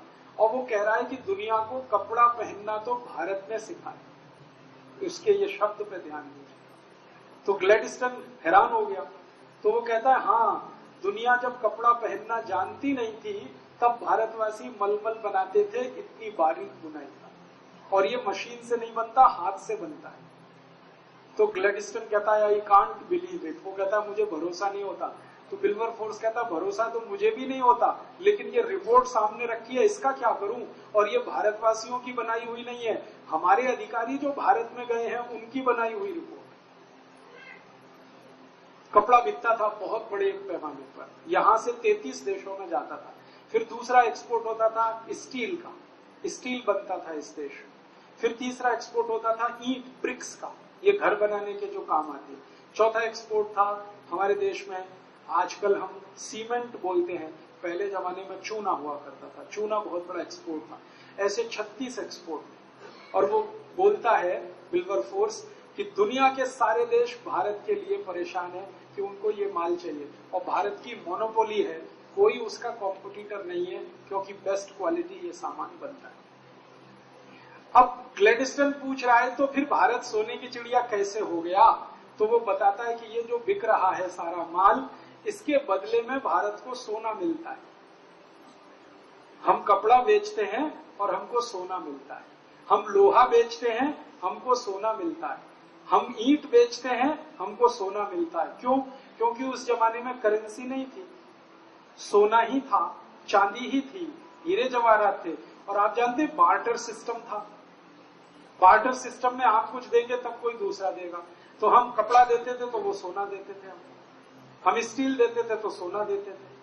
और हमारा सबसे बड़ा व्यापारिक साझीदार था अफ्रीका। अफ्रीका में सबसे ज़्यादा सोना होता है, आप जान। तो अफ्रीका के व्यापारी हमसे ये खरीदते थे और बदले में हमको सोना मिलता और ये तीन हज़ार साल चला। तीन हज़ार साल। हमने सोना लाया कपड़ा बेच के हमने सोना लाया लोहा बेच के तो इतना सोना इकट्ठा हो गया इस देश में कि सारी दुनिया ने भारत को सोने की चिड़िया कहना शुरू हो और सोना इतना हो गया हमारे पास कि हमने गहने और जेवरात तो सोने के बनाए ही, फिर ज़रूरत पड़ने पर मंदिर भी सोने के बना डाले। दुनिया में ये हज़ारों साल का एक ही देश है जहाँ सोने के मंदिर सोने की मस्जिद नहीं है, सोने का गिरजाघर नहीं यहाँ सोने के मंदिर है। और आप कहेंगे, एक मंदिर है, अमृतसर का स्वर्ण मंदिर। मैंने अंग्रेज़ों के दस्तावेज़ ढूंढ ढूंढ कर निकाले तो भारत देश में अंग्रेज़ों के आने के पहले तक ग्यारह हज़ार से ज़्यादा सोने के मंदिर एक एक मंदिर के पास 300 से 400 मीट्रिक टन सोना एक एक मंदिर के मंदिरों में सोना कहाँ से आया? समाज ने दान में दिया। समाज के पास कहाँ से आया? तो व्यापार करके लाया। हमने लूटा नहीं किसी को। भारत का एक भी व्यापारी कभी किसी को लूटने नहीं गया। भारत का कोई राजा कभी दूसरे देश पर हमला करने नहीं गया। यहाँ बड़े बड़े चक्रवर्ती सम्राट हुए, जिनका सारी दुनिया सम्मान करती थी। चंद्रगुप्त विक्रमादित्य को आप जानते हैं, हर्षवर्धन को आप जानते हैं, अशोक को आप जानते हैं। सारी दुनिया इनके चरणों में पड़ी रहती थी, लेकिन ये कभी दूसरे देश को लूटने नहीं गए। गए तो धर्म प्रचार करने गए। हमने लूटा किसी को नहीं, फिर सोना कहाँ से आया? व्यापार करके कमाया हम और व्यापार में हम सबसे ऊपर थे, इसलिए इतना सोना है। तो वो सोना चांदी इतना जमा हो गया था इस देश में, इसलिए सारी दुनिया में सोने की चिड़िया नाम से भारत प्रसिद्ध हो क्योंकि व्यापार बहुत ऊँचा था इस देश में। ये दस्तावेज़ पढ़ने के बाद मुझे पहली बार पता चला कि भारत उद्योग प्रधान देश था। सिर्फ़ कृषि प्रधान नहीं था। हमको ये बताया गया ना, भारत कृषि प्रधान, देश कृषि। कृषि तो सेकेंडरी है, उद्योग तो प्राइमरी थे। और ये सब इतना सारा, तीन हज़ार साल हम सोना कमाते रहे कमाते रहे कमाते रहे, फिर मंदिर बनाते रहे, सोना दान करते रहे। सोने का उपयोग इस देश में सबसे ज़्यादा है, आज भी सबसे ज़्यादा। हम गरीबी में हैं, फिर भी दुनिया का सबसे ज़्यादा सोना इसी देश में। भले वो घरों में है, ये अलग बात है, लेकिन है अभी भी इस देश में। तो इसलिए ये देश पैसे वाला, समृद्धशाली बना। और यही कारण था जो अंग्रेज़ यहाँ आए, फ्रांसीसी आए, डच लोग आए, पुर्तगाली लोग आए। आप जरा सोचो, अगर हम गरीब होते और भुखमरी के शिकार होते तो अंग्रेज़ यहाँ 200 साल छक मारते। 200 साल, दो चार साल में लौट जाते। अगर हम गरीब होते, भुखमरी के शिकार होते तो फ्रांसीसी क्यों आते? वास्को डिगामा क्यों आया अपनी पूरी फौज लेके? सिकंदर क्यों आया यूनान से चलकर यहाँ तक ये सारे लोग आए क्योंकि हमारे पास कुछ था। और वो दो ही चीज़ें थी। एक तो ज्ञान और दूसरा पैसा, समृद्धि। ज्ञान भी बहुत था इस देश में। और भारत तो नाम ही ज्ञान है। संस्कृत का शब्द है भा भा का मतलब है ज्ञान। और रथ माने लगा हुआ। ज्ञान में लगा हुआ देश है ये भारत। ज्ञान भी बहुत ऊँचा। कितने हज़ारों विद्यार्थी विदेशों से आकर यहाँ पढ़ते थे। आपने इतिहास में पढ़ा होगा। विश्वविद्यालय, तक्षशिला, नालंदा, ये तो दो नाम है। ऐसी हज़ारों विश्वविद्यालय थे। मेरे पास पूरी सूची है। कितने विश्वविद्यालय कहाँ कहाँ थे इस देश में? तो ज्ञान में बहुत ऊँचा था, पैसे में बहुत ऊँचा था तो दो ही खोज में सब आते कोई ज्ञान लेने आता था, कोई पैसा लेने आता था। इसलिए हज़ारों साल हम कहीं नहीं गए, सब यहाँ आए। तो इसलिए भारत दुनिया में गुरु था, क्योंकि ज्ञान भी यहीं से मिलता था लोगों को, और धन और संपत्ति भी यहीं से मिलती फिर गड़बड़ क्या हुई? गड़बड़ ये हुई कि जब बहुत ज़्यादा संपत्ति आ गई हमारे पास तो हमने संपत्ति की कदर करना बंद कर दी ज़रूरत से ज़्यादा कोई चीज़ हो जाए ना तो कदर नहीं होती उसकी। कदर कैसे बंद हुई? हमने एक फिलोसफी बनाई इस देश में, ब्रह्म सत्यम जगत मिथ्या। आर्य समाजी कहेंगे, ये पौराणिकों की बनाई हुई है। सच में हम लोगों ने यही गड़बड़ कर दी इस देश में ब्रह्म सत्यम जगत मिथ्या, क्या उल्टी बात कर रहे हैं? अगर जगत मिथ्या है तो सब मिथ्या है फिर तो। जगत मिथ्या नहीं होता। ब्रह्म भी सत्य है, जगत भी सत्य है। लेकिन कुछ हज़ार साल हमारा दिमाग ऐसा घूम गया, और ये दिमाग पता है किसने घुमाया? बौद्ध धर्म के लोगों ने हमारा दिमाग घुमाया। आप जानते हैं बौद्ध धर्म इसी देश में आया। तो बौद्ध धर्म वालों ने ये फिलोसफी इतनी तेज फैलाई ब्रह्म सत्यम, जगत मिथ्या। तो ये सोना है, चांदी है, ये जगत है। ये मिथ्या है, बेकार है, इसको छोड़ो, जाने दो, माया है, मत फंसो। तो मत फंसो मत फंसो मत फंसो। तो माया से हमको दूर हटाते गए तो जगत से भी दूर हटते गए। फिर परिणाम क्या हुआ? कि जब विदेशी आए लूट मार करने के लिए तो हमने कहा रे क्या है? माया है, लूट रहे हैं लूटते दो। तो जो विदेशी आया, वो लूट के ले गया। हम तालियाँ बजाते रहे। सोमनाथ का मंदिर लूटने के लिए महमूद गजनबी आया। सत्रह बार उसने मंदिर लूटा और मंदिर के पुजारी खामोश लूट को देखते रहे। ढाई सौ पुजारी थे और 117 महमूद गजनबी के सैनिक थे। ढाई सौ पुजारी थे 250 एक एक पुजारी एक एक लाठी लेकर अगर महमूद गजनबी की सेना पे मिल जाता तो महमूद गजनबी पहले साल में ही मर जाता। लेकिन वो पुजारी बोलते रहे, ब्रह्म सत्यम जगत मिथ्या, ब्रह्म सत्यम जगत मिथ्या। मंदिर है, जगत का हिस्सा है, लुट रहा है, लुटने दो, फिर आ जाएगी। ये तो संपत्ति है, माया है। आजकल और भी बहुत लोग ऐसा बोलते हैं ना, माया में मत फंसो, ये संपत्ति में मत फंसो। मैंने बहुत सारे साधु बाबाओं को पूछा, भाई, माया में हम न फंसे, ये तो ठीक है। आप क्यों फंसे हुए हो? एक साधु बाबा है, मैं नाम नहीं लेता, वो रोज यही भाषण देते माया में मत फंसो। और कहते मेरे को दे दो। तुम मत फंसो, मुझे दे मैं संभालूँगा तुम्हारी माया। तो जैसे आजकल के कुछ पाखंडी लोग हैं ना इस देश में जो आपको उल्लू बनाते रहते, ऐसे ही कुछ पाखंडी हज़ार साल पहले हो गए इस देश में। उन्होंने खूब उल्लू बनाया लोगों को। माया में नहीं फंसो तो विदेशी आए माया को लूटते रहे। और वो लूटते रहे, हम लुटवाते रहे, वो लूटते रहे, हम लुटवाते रहे। एक दिन सब खाली हो गया।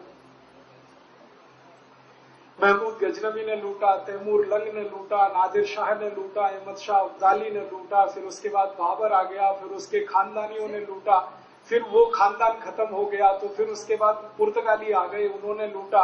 पुर्तगाली चले गए तो फ्रांसीसी आ गए, उन्होंने लूटा, फ्रांसीसी गए तो फिर अंग्रेज़ आ गए, और उन्होंने तो ढाई सौ साल खूब जम के लूटा। उस लूट का परिणाम ये हुआ कि सोने की चिड़िया नाम का भारत अब मिट्टी की चिड़िया भी नहीं रह गया। अब स्थिति इस देश की ये है। 250 साल पहले जो दुनिया का सबसे ज़्यादा पैसे वाला देश था, अब दुनिया के सबसे गरीब देशों में हमारी गिनती होती है। 113 करोड़ की हमारी आबादी है, जिसमें चौरासी करोड़ लोग इतने गरीब हैं, जिनकी एक दिन की कमाई 20 रुपए से कम है। ऐसा देश हो गया। इस लूट ने हमको कहीं का नहीं छोड़ा। ये लूट कैसे हुई? कई तरीकों से हुई ये लूट। एक तो ये था कि ये विदेशी आते थे और जो धन संपत्ति हमारे मंदिरों में था उसको लेके जाते थे। ये एक तरीका था। दूसरा ये तरीका था कि विदेशी आते थे और हमको उल्लू बना के अपना माल बेचते थे और हमारा पैसा मुनाफे के रूप में लेके जाते थे। जिन चीज़ों की हमें ज़रूरत नहीं, वो हम उनसे लेते थे। आप सोचो दुनिया में ऐसा कोई समाज है जो अपनी ज़रूरत के बिना का सामान खरीदे। हमने खरीदा, आज भी खरीद रहे हमारी अकल ही खत्म हो गई है कि ये हमें चाहिए कि नहीं चाहिए। उदाहरण के लिए, चाय की हमें कभी भी ज़रूरत नहीं रही, क्योंकि ये गर्म देश है। गर्म देश में चाय ना पी जाती है, ना पिलाई जाती है। और गर्म देश में चाय उत्पादन भी नहीं हो सकते। चाय उत्पादन होने के लिए ठंडा देश चाहिए। यूरोप और अमेरिका में चाय हो सकती है, भारत में नहीं।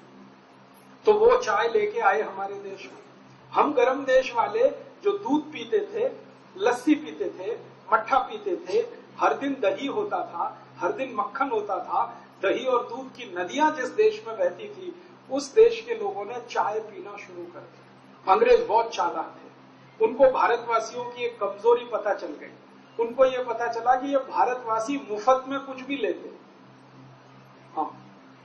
तो सबसे पहले चाय उन्होंने मुफ़्त में पिलाई। जगह जगह चाय के दुकानें खोली। ईस्ट इंडिया कंपनी ने चाय पिलाई मुफ़्त में। हमने पीना शुरू किया मुफ़्त में। फिर आदत पड़ गई। फिर खरीद के पीना शुरू किया। और अब इतनी पी रहे हैं जो दुनिया में कोई नहीं पीता। एक साल में हिंदुस्तानी लोग 70 करोड़ किलोग्राम चाय पी जाते हैं। दस हज़ार पाँच सौ करोड़ रुपए की ये चाय होती है। इस दस हज़ार पाँच सौ करोड़ की चाय पीकर जो बीमारियाँ आती हैं, क्योंकि चाय एसिडिक है, आप जानते हैं, तेजाबी है। ज़्यादा चाय पिएँगे तेजाब और बढ़ेगा एसिडिटी बढ़ेगी। एसिडिटी से 103 रोग आते हैं। तो ये चाय बिकती है साढ़े दस हज़ार करोड़ की। इससे रोग पैदा होते हैं। उन रोगों का इलाज करने में खर्च करते हैं हम साढ़े छह लाख करोड़। ऐसे मूर्खानंद हैं इस देश के लोग जो अपने को बड़ा स्मार्ट समझते हैं। ज़्यादा स्मार्ट वो हैं जो उठते ही चाय पीते हैं। और ज़्यादा स्मार्ट वो हैं जिनको टट्टी तब उतरती है जब चाय पी लेते हैं। सुपर स्मार्ट है बैठती चाहिए उसके बिना तो टट्टी भी नहीं उतरती। तो ये महानुभाव लोग जो इस देश में अंग्रेज़ों के छोड़े हुए हैं, मैं कहता हूँ ये काले अंग्रेज़ हैं, वो तो गोरे अंग्रेज़ थे, चाय पीते थे। ये सब काले अंग्रेज़ हैं। हमारे हिंदुस्तानियों ने ऐसा नियम बना दिया every time is tea time कभी भी चाय पी सकते किसी के भी घर में चाय पियोगे? हाँ ले आओ। एक बार भी कोई नहीं कहता, जी, नहीं पिएगे हाँ ले आओ। और वो पूछेगा इसलिए कि उसको भी पीनी है तो वो खुद पिएगा, आपको पिलाए। तो दस हज़ार पाँच सौ करोड़ की चाय। अंग्रेज़ों के जमाने में बिकती नहीं थी, अब साढ़े दस हज़ार करोड़ की बिकती है। हम चाय पी पी के अंग्रेज़ों के गुलाम हमने ऐसी चीज़ खरीदी जो ज़रूरत नहीं फिर दूसरी चीज़ हमने खरीदी अंग्रेज़ों से, अफीम। आपको मालूम है, अंग्रेज़ चीन से अफीम लेके आते थे, भारत में बेचते फिर मुनाफा लेके जाते अफीम लेना शुरू कर दिया, चाय लेना शुरू कर दिया, फिर उनकी चीनी खाना शुरू कर दिया। क्योंकि आप जानते चीनी सबसे पहले इंग्लैंड में बनी। भारत में नहीं बनी। चीनी लेना शुरू कर दिया, फिर मैदा लेना शुरू कर दिया उनसे। हम तो आटा खाने वाले लोग थे, हमने मैदा खाना शुरू कर दिया। फिर उनके बेकरी आइटम बिकने लगे इस देश में। पाव रोटी, डबल रोटी, बिस्किट, ये सब उन्होंने लाना शुरू कर दिया। ये बिकना चालू हो गया। धीरे धीरे अंग्रेज़ों का इतना धंधा बढ़ा इस देश में कि सारा सोना हमारा जो हमने लाया था तीन हज़ार साल कमा के, वो अंग्रेज़ों को दे दिया व्यापार के चक्कर एक तो उन्होंने सीधे लूटा यहाँ से, दूसरा उन्होंने व्यापार करके लूटा यहाँ से। और तीसरा तरीका उन्होंने अपनाया कि किसी के पास कुछ न बचे हिंदुस्तानियों के पास, टैक्स और लगा दिए इस देश में जब उनकी सरकार बन गई तो टैक्स के माध्यम से लूटा उन्होंने। कैसे टैक्स लगाए उन्होंने? भारतवासी कोई भी सामान का उत्पादन करें तो एक्साइज ड्यूटी लगा दी उन्होंने। फिर सामान को बेचें तो इनकम टैक्स लगा दिया उन्होंने। सेल्स टैक्स लगा दिया उन्होंने, रोड टैक्स लगा दिया, टोल टैक्स लगा दिया तो टैक्सों के माध्यम से पैसा लूट लिया। फिर किसानों को लूटा, लगान लगा के। ज़मीन पे लगान लगा दिया लैंड रेवेन्यू और वो 50 परसेंट से लेके 90 परसेंट तक था। माने जितना उत्पादन करेगा किसान, उसका 50 परसेंट अंग्रेज़ों को देना। तो किसानों से लूट लिया, व्यापारियों से लूट लिया, ग्राहकों से लूट लिया, सब लूट लूट के ये धन इंग्लैंड जा गए, जाना शुरू हुआ। और तब हिंदुस्तानियों को थोड़े दिन के बाद चेतना आई कि हमारा कितना बड़ा लूट हो रही है। ये चेतना आई तो एक व्यक्ति थे जिनका नाम था दादा भाई नेहरू जी। उन्होंने किताब लिखी। सबसे पहली किताब इस देश में उनकी आई कि अंग्रेज़ों ने कितना लूटा, फ्रांसीसियों ने कितना लूटा। डच लोगों ने कितना लूटा। फिर उसके बाद लाइन लगी, बहुत सारे अर्थशास्त्रियों ने लिखा। आज सैकड़ों किताबें इस देश में हैं जो आप पढ़ें तो आपको खून के आँसू आएँगे कितना लूटा ये देश। और एक दो साल नहीं, एक दो साल नहीं, हज़ार साल महमूद गजनबी से लेकर ईस्ट इंडिया उस लूट में सारा धन चला गया, हम गरीब हो गए। भगवान ने हमें गरीब नहीं बनाया। अगर ये देश को भगवान ने गरीब बनाया होता तो सोचो ये देश कैसा होता।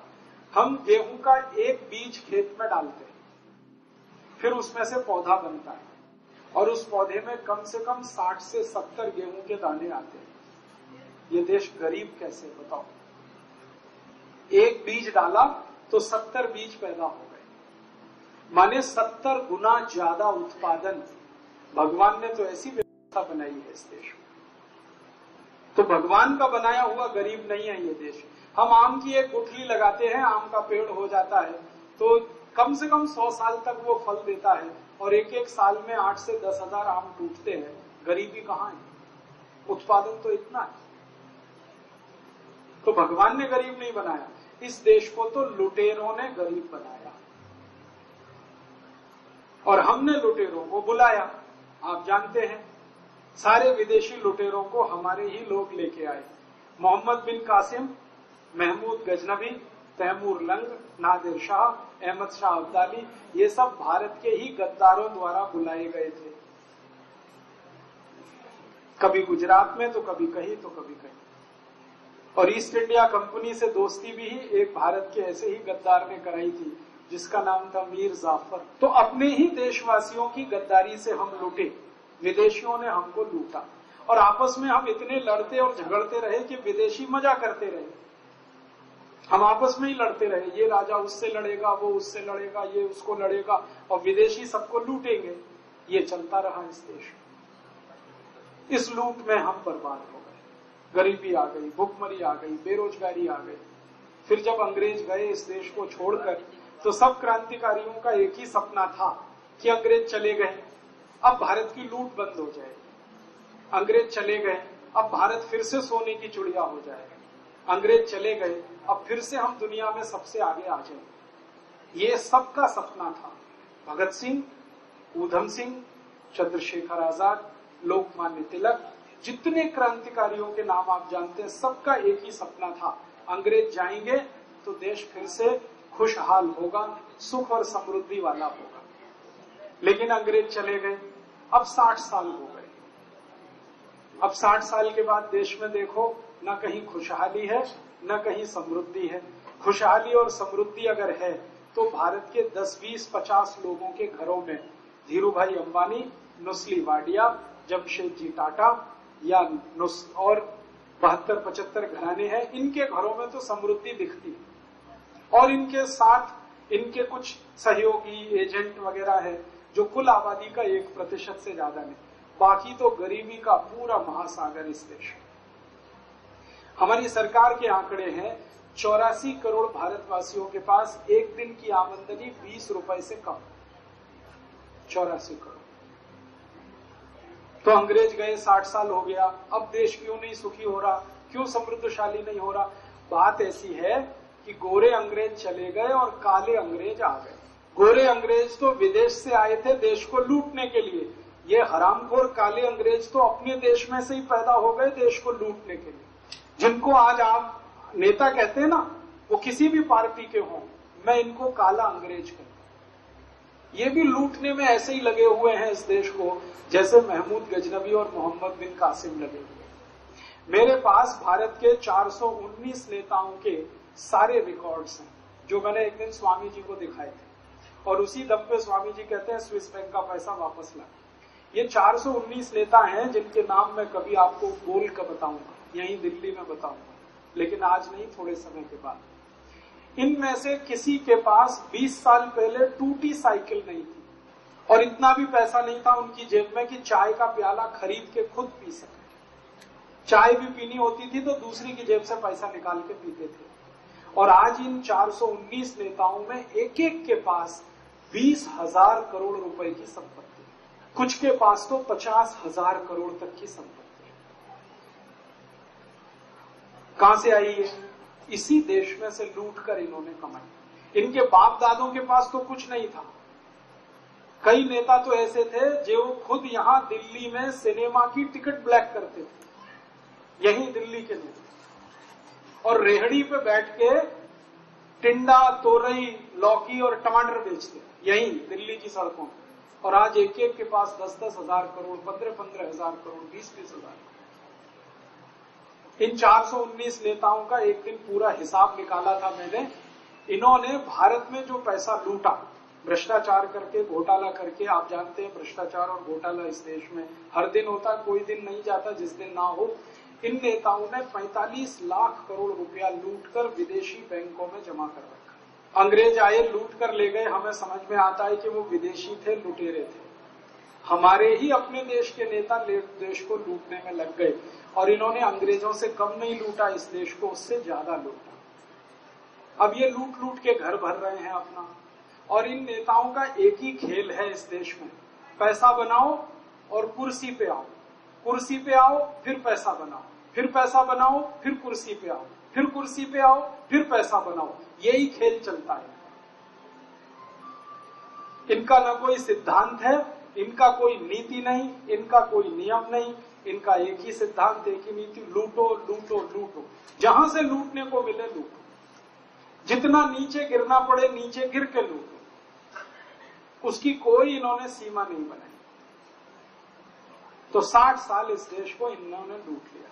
और इन्होंने लूटा ही नहीं, दूसरों से भी लुटवाया इस देश खुद तो लूटा, दूसरों से भी लुटवाया एक एक नेता इस देश में जब प्राइम मिनिस्टर या चीफ मिनिस्टर हो जाता है तो विदेशी कंपनियों को बुला बुला के लाता है। भाई, मेरे राज्य में आओ, विदेशी कंपनियों वालों, और लूटो मेरे राज्य आपको मालूम है, इस देश में पिछले पंद्रह साल से एक नीति चल रही है। उस नीति का नाम तो रखा है उदारीकरण लिबरलाइजेशन ग्लोबलाइजेशन लेकिन वास्तव में है वो भारत की लूट। इन नेताओं ने जब जब इनको मौका मिला prime minister, chief minister, finance minister होने का, इन्होंने हज़ारों विदेशी कंपनियों को लाइसेंस दे दिए जैसे ईस्ट इंडिया कंपनी को लाइसेंस दिया था ना इस देश में, वो जहांगीर ने दिया था। जहांगीर उस समय भारत का प्रधानमंत्री था, जब ईस्ट इंडिया कंपनी आई। तो जहांगीर ने लाइसेंस दिया व्यापार करने का। आज के जहांगीर ये हैं, जो विदेशियों को लाइसेंस दे रहे हैं। साढ़े चार हज़ार कंपनियों को इन्होंने बुला लिया। किसी का नाम है पेप्सी कोला कोई है कोका कोला कोई है कॉलगेट पामोलिव कोई है प्रॉक्टर एंड गैम्बल, कोई है रैकेट एंड कोलमैन, कोई है जॉनसन एंड जॉनसन, कोई है सीबागाई की कोई है सेंडोस, ऐसी साढ़े चार हज़ार कंपनी। और ये लूटने में अब लग गई है इस देश। ये कैसे लूट रही है? नेताओं ने इनको लाइसेंस दे दिए। ये कंपनियाँ अपना कुछ सामान बनाती हैं। वो सामान घर घर में आ रहा है। हम सब उसे खरीद रहे हैं। हम क्यों खरीद रहे हैं? हमें मालूम ही नहीं है कौन सा सामान भारत का है, कौन सा विदेशी है। क्योंकि हमें कोई पढ़ाता नहीं है, कोई बताता भी नहीं है स्कूल, कॉलेज। में तो हम अनजाने में कई बार ऐसा सामान खरीदते हैं जो बाहर की कंपनियों का है, विदेशी और उसका सारा पैसा देश के बाहर जाता है। जैसे एक पेप्सी कोला का बोतल आप खरीद लो तो इस देश का सात रुपए बाहर चला जाएगा। दस रुपए में बोतल आती है। तीन रुपए यहाँ रहेगा, सात रुपए विदेश चला जाएगा एक आप कॉलगेट पामोलिव का पेस्ट खरीद लो, सत्ताईस रुपए का। उसमें से पाँच रुपए भारत रहेगा, बाईस रुपए विदेश चला जाए अगर आपने बाटा का जूता खरीद लिया, तीन सौ निन्यानवे रुपए पंचानवे पैसे का तो उसमें से दो सौ रुपए भारत के बाहर चला जाएगा। अगर आपने विदेशी कंपनी की कार खरीद ली, पाँच लाख की तो तीन लाख रुपए भारत से बाहर चला जाएगा और पंद्रह लाख की खरीद ली तो कम से कम आठ से दस लाख रुपए बाहर चला जाएगा आपने विदेशी कंपनी का रेफ्रिजरेटर खरीद लिया, पंद्रह हज़ार का तो कम से कम उसमें से नौ हज़ार रुपए विदेश चला जाएगा आपने विदेशी कंपनी का टीवी खरीद लिया, मान लो दस हज़ार का तो कम से कम उसमें से छह हज़ार विदेश चला जाए। तो एक दिन मैंने ये सब हिसाब निकाला, साढ़े चार हज़ार कंपनियों का हर साल इस देश में जो सामान बिक रहा है, उससे दो लाख करोड़ रुपए विदेश में जा रहा है। हर साल, दो लाख करोड़। एक साल, दो साल में चार लाख करोड़, तीन साल में छह लाख करोड़, चार साल में आठ लाख करोड़, और ये सिलसिला पिछले साठ साल से चल रहा है। आज़ादी मिली, उसके बाद से ही विदेशी कंपनियाँ फिर आ गई इस देश में। जिन कंपनियों के खिलाफ हमने संघर्ष किया था और लाखों क्रांतिकारियों ने बलिदान दिया था, उन्हीं कंपनियों को हमारे नेताओं ने फिर बुला लिया इस देश और हमारे यहाँ नियम ऐसा बन गया है कि जो नेता जितनी विदेशी कंपनियों को बुलाए, वो उतना ही अच्छा। माने जो जितनी ज़्यादा मीर जाफरी करे, वो उतना ही अच्छा। जो जितनी ज़्यादा गद्दारी करे, वो उतना ही अच्छा। ये इस देश का उसूल बन गया। अब समस्या क्या है कि लाखों करोड़ों अंग्रेज़ लूट ले गए, उसके पहले फ्रांसीसी ले गए डच लोग ले गए। उसके पहले मुसलमान लूट के ले गए। अब जो थोड़ा बहुत बचा और साठ साल में हम कमा रहे हैं, वो अब ये नए नए विदेशी आकर लूट के ले जाए और क्या क्या सामान बेचकर लूट ले जा रहे हैं, मुझे तो हँसी आती है। अमेरिका की कंपनी यहाँ आलू का चिप्स बेचकर हज़ारों करोड़ लूट रहे एक आलू के चिप्स का पैकेट आता है, उसका नाम है रफल्स और एक है हॉस्टेस। पैकेट एक खरीदो, पंद्रह रुपए का है। और आलू का चिप्स उसमें पंद्रह ग्राम निकलता है। पैकेट खोलो तो आधे से ज़्यादा हवा निकलती है। और गिनकर मैंने देखा पंद्रह चिप्स निकलते हैं आलू अब पंद्रह ग्राम आलू का चिप्स पंद्रह रुपए का। तो हज़ार रुपए किलो आलू का चिप्स बिक रहा है। जिस देश के किसान का आलू दस रुपए किलो नहीं बिकता, उस देश में आलू का चिप्स हज़ार रुपए किलो बिक किसान भूखे मर रहा है, आलू पैदा कर करके सड़क पे फेंक रहा है, क्योंकि आलू को भाव नहीं है। मैं किसान का बेटा हूँ, मेरे घर में खेती होती है। हमारे यहाँ आलू की फ़सल जब होती है तो खोद खोद कर आलू खेत से सड़क पर फेंक देते हैं हम। क्योंकि ट्रैक्टर ट्रॉली में भर के मंडी लेके जाए तो डीजल का खर्चा नहीं निकलता, इतना सस्ता आलू बिकता है। पचास पैसे किलो, एक रुपए की और वही आलू विदेशी कंपनियाँ लेती हैं और हज़ार रुपए किलो में चिप्स बना के बेचती हैं। मुनाफे का अगर आप हिसाब निकालेंगे प्रॉफिट परसेंटेज तो हज़ारों प्रतिशत मुनाफा है आलू के चिप्स के धंधे। सोने चांदी की बात नहीं कर रहा ऐसे लुट रहा है देश। पढ़े लिखे लोगों के बच्चे लगातार वही आलू का चिप्स खा रहे हैं, जो बाज़ार में मिलता। अम्मा भी बना सकती है उनकी, लेकिन अम्मा का बनाया हुआ अब अच्छा नहीं लगता। क्योंकि अम्मा भी अच्छी नहीं लगती। अब विदेशी चिप्स ही खाना है। करोड़ों रुपया जाता एक और उदाहरण देता हूँ। एक विदेशी कंपनी टमाटर की चटनी बेचती है। मैगी। किसान का टमाटर बिकता है एक रुपए, डेढ़ रुपए किलो। और मैगी बिकती है दो सौ रुपए किलो। चटनी। टमाटर से बनती है चटनी, दो सौ रुपए किलो। टमाटर है, दो रुपए किलो। इसी देश में एक कंपनी है, वो चॉकलेट बेचती है, कैडबरीज। दूध से बनती है चॉकलेट। दूध आता है बीस रुपए किलो। कैडबरीज बिक रही है पंद्रह हज़ार रुपए किलो। एक विदेशी कंपनी है, वो टूथपेस्ट बेचती है, कॉलगेट। सत्ताईस रुपए का सौ ग्राम, माने दो सौ सत्तर रुपए किलो। गाय के घी से महँगा। गाय का घी दो सौ रुपए किलो, कॉलगेट दो सौ सत्तर रुपए। पढ़े लिखे लोग गाय का घी तो रोटी पे लगा के खाते हैं, सस्ता है। और कॉलगेट मुँह में रगड़ के वॉश बेसिन में थूकते हैं, क्योंकि महँगा है। महँगी चीज़ थूक रहे हैं, सस्ती चीज़ खा रहे हैं और कहते हम तो बहुत स्मार्ट हैं। तो मैं कहता हूँ, और ज़्यादा स्मार्ट बनो। तो पूछते क्या करें? मैं कहता हूँ, ये कॉलगेट महँगा है, इतना घी से भी ज़्यादा। इसको थूकते क्यों? रोटी पे लगा लगा के खा लो। मैं आपको विनम्रता पूर्वक ये कहता हूँ कि ज़्यादा पढ़े लिखे लोग, ज़्यादा मूर्ख। मैं उनको कहता हूँ एजुकेटेड इडियट्स और जो बिना पढ़ा लिखा बहुत होशियार। मैंने बिना पढ़े लिखे गाँव के किसान को आलू का चिप्स खरीद कर खाते नहीं देखा। मैंने बिना पढ़े लिखे किसान को पेप्सी पीते नहीं देखा। मैंने बिना पढ़े लिखे किसान के बच्चों को चॉकलेट खाते नहीं देखा। वो खाएँगे तो गुड़ खाएँगे, चॉकलेट नहीं खाएँगे। वो खाएँगे तो आलू खाएँगे, चिप्स नहीं खाएँगे। वो खाएँगे तो गाय का घी खाएँगे, लेकिन ये पेस्ट रगड़ के नाली में नहीं थूके इसका मतलब बिना पढ़े लिखे लोग होशियार हैं, अकलमंद हैं, देशभक्त हैं। क्योंकि वो पढ़ने नहीं गए। और जो पढ़ गए मेरी तरह से, वो सब के सब हरामी हो गए इस देश मैं। खुद को भी कहता हूँ, दूसरे की बात नहीं। इसलिए मुझे अभी गाली लगता है कि कोई मुझे कहे कि तुम बहुत पढ़े लिखे आदमी हो। क्योंकि यहाँ हर पढ़ा लिखा आदमी देश विरोधी काम में लगा हुआ है। देश को बेचने में लगा हुआ है। और हर बिना पढ़ा लिखा आदमी देशभक्ति कर रहा है और देश से वफादारी निभा और सरकार कहती है, सबको पढ़ाओ सबको पढ़ाओ, माने सबको गद्दार बनाओ। एक बार मैंने भारत सरकार के एक सेक्रेटरी को पूछा, ये सर्व शिक्षा अभियान किसके लिए? तो उसने कहा राजीव भाई, सच्चा बताऊँ या झूठा? मैंने कहा, सच्चा बता दो भाई। तो उसने कहा कि ये हर आदमी को ये बताने के लिए A for apple B for boy C for cat जब ये सीख जाएँगे तो फिर टीवी पे पढ़ेंगे। C for Coke P for Pepsi L for Lifebuoy L for Lux ये पढ़ना सीख लेंगे तो खरीदेंगे। खरीदेंगे तो कंज्यूमर बनेंगे। तो हर आदमी को विदेशी माल का उपभोक्ता बनाना है, शिक्षित नहीं बनाना। शिक्षा तो कुछ और होती है, वो नहीं देनी, साक्षरता देनी। साक्षरता और शिक्षा में ज़मीन आसमान का अंतर।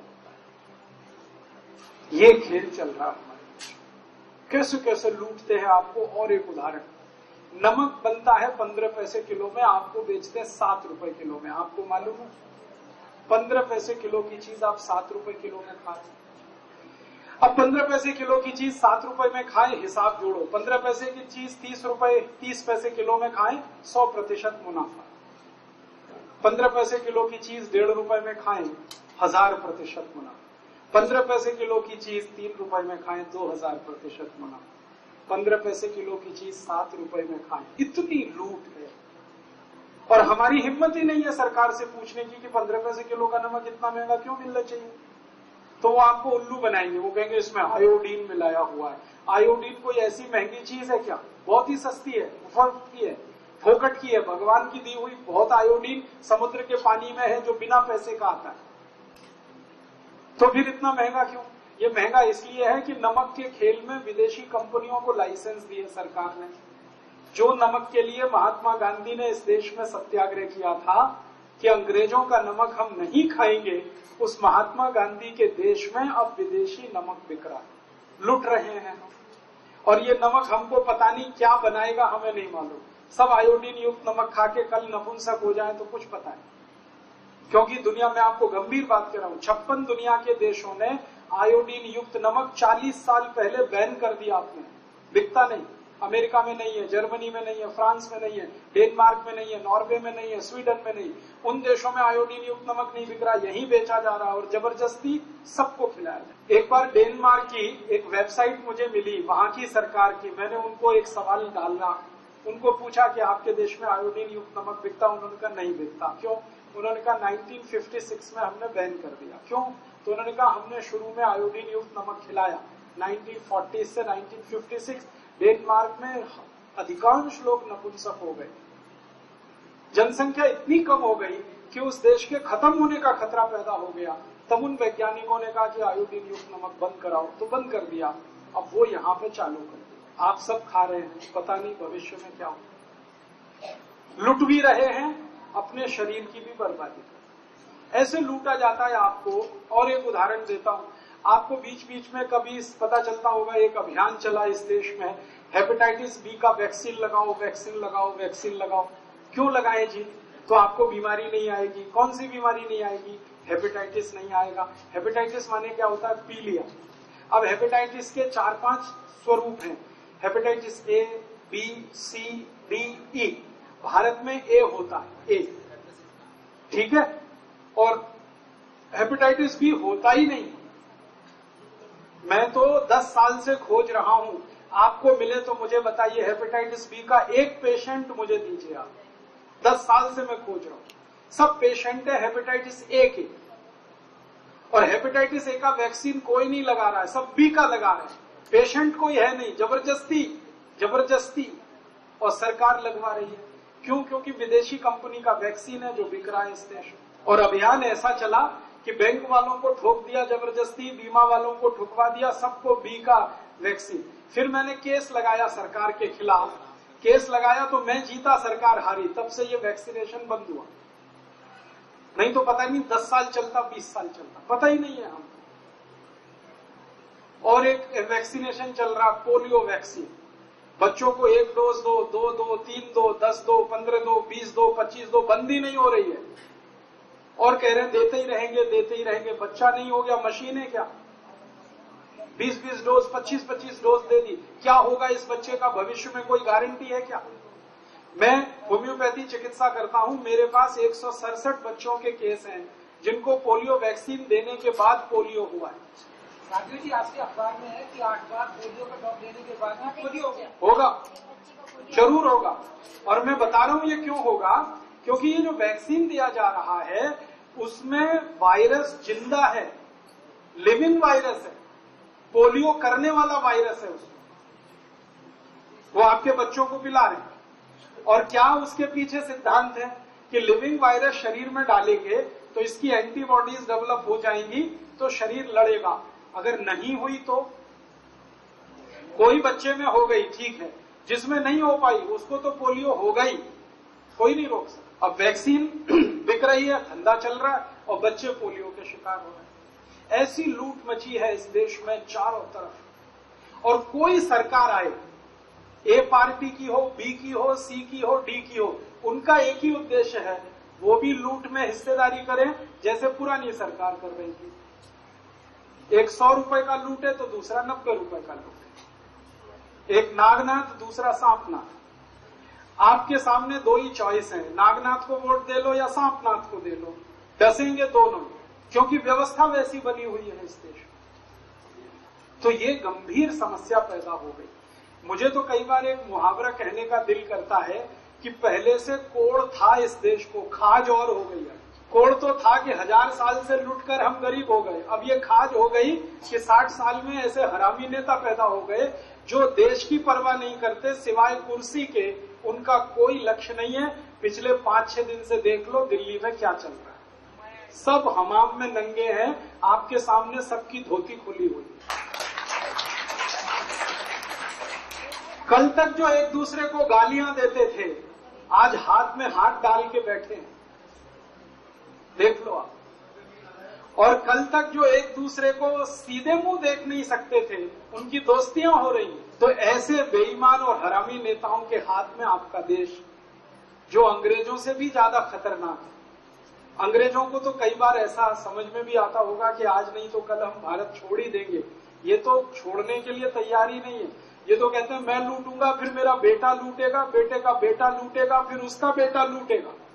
सबने अपने अपने बेटे बहुओं को तैयार कर दिया देश लूटने के। कोई भी नेता रिटायर होके जाएगा तो अपने बेटे या बेटी को फिक्स करेगा इस देश। और इनकी बेईमानी के कितने प्रमाण हैं। संसद में अगर कानून बनाना है, तनख्वाह बढ़ाने का तो एक मिनट में बने। और संसद में कानून बनाना है गोरक्षा का तो 60 साल नहीं बनेगा। गरीबी, भूखमरी, बेकारी दूर करने का कानून नहीं बनेगा। नेताओं का टीएडीए बढ़ाने का कानून दो तो मिनट में बनेगा। और कोई उस दिन विपक्ष नहीं होता, सब सत्ता पक्ष में होता। तो ऐसी स्थिति देश में आई।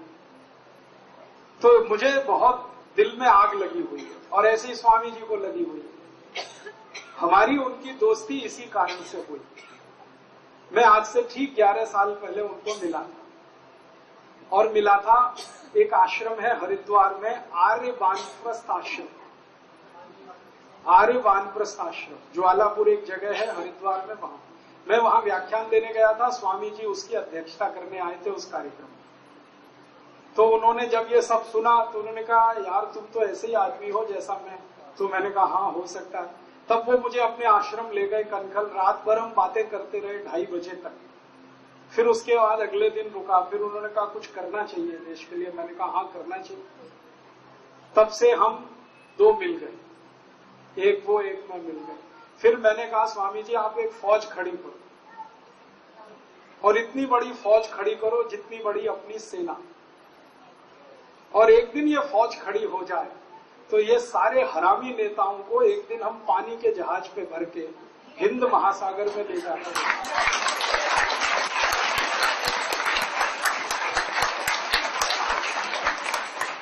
और इस देश में नए नेता खड़े करेंगे वो दिन कब आएगा? बस जल्दी आने वाला है। आप बस फौज पूरी कर दो। अपनी आर्मी पंद्रह लाख की है। पंद्रह लाख जिस दिन योग शिक्षक हो जाएँगे, उस दिन ये हो जाए तो मैं तो और एक दूसरे अभियान पे लग गया। मैंने कहा, स्वामी जी, आप कोशिश करो। मैं देश भर में ऐसे लोगों को इकट्ठा करता हूँ जो पहले से ऐसा सोचते हैं, करना चाहते हैं, लेकिन इकट्ठे नहीं आते। अपने भारत में दुष्ट ज़्यादा नहीं है, थोड़े हैं, लेकिन इकट्ठे सज्जन बहुत ज़्यादा हैं, लेकिन बिखरे हुए तो जो सज्जन शक्ति बिखरी हुई है, ये इकट्ठी हो जाए, योग शिक्षकों की फौज खड़ी हो जाए तो आज नहीं तो कल धावा तो बोलना है, ऐसे ही जैसे कभी पृथ्वीराज चौहान ने बोला था, या जैसे राणा प्रताप ने अकबर की सेना में बोला था, या जैसे भगत सिंह, उधम सिंह जैसे क्रांतिकारियों ने अठारह सौ सत्तावन में धावा बोला था अंग्रेज़ों पर, ऐसे ही ये हरामी काले अंग्रेज़ों पे धावा बोलना और ये दिल्ली कुरुक्षेत्र बनेगा। और आपकी बड़ी भूमिका होगी। जब ये दिल्ली कुरुक्षेत्र बनेगा, तब आपको तय करना पड़ेगा कि आप राम के साथ हैं कि रावण के साथ। आपको तय करना ये दिन आपके पास आएगा जो रावण के साथ हैं तो जितनी पार्टियाँ हैं, इनमें आप शामिल हो जाएँगे। और राम के साथ हैं तो स्वामी जी की सेना में आ जाएँगे।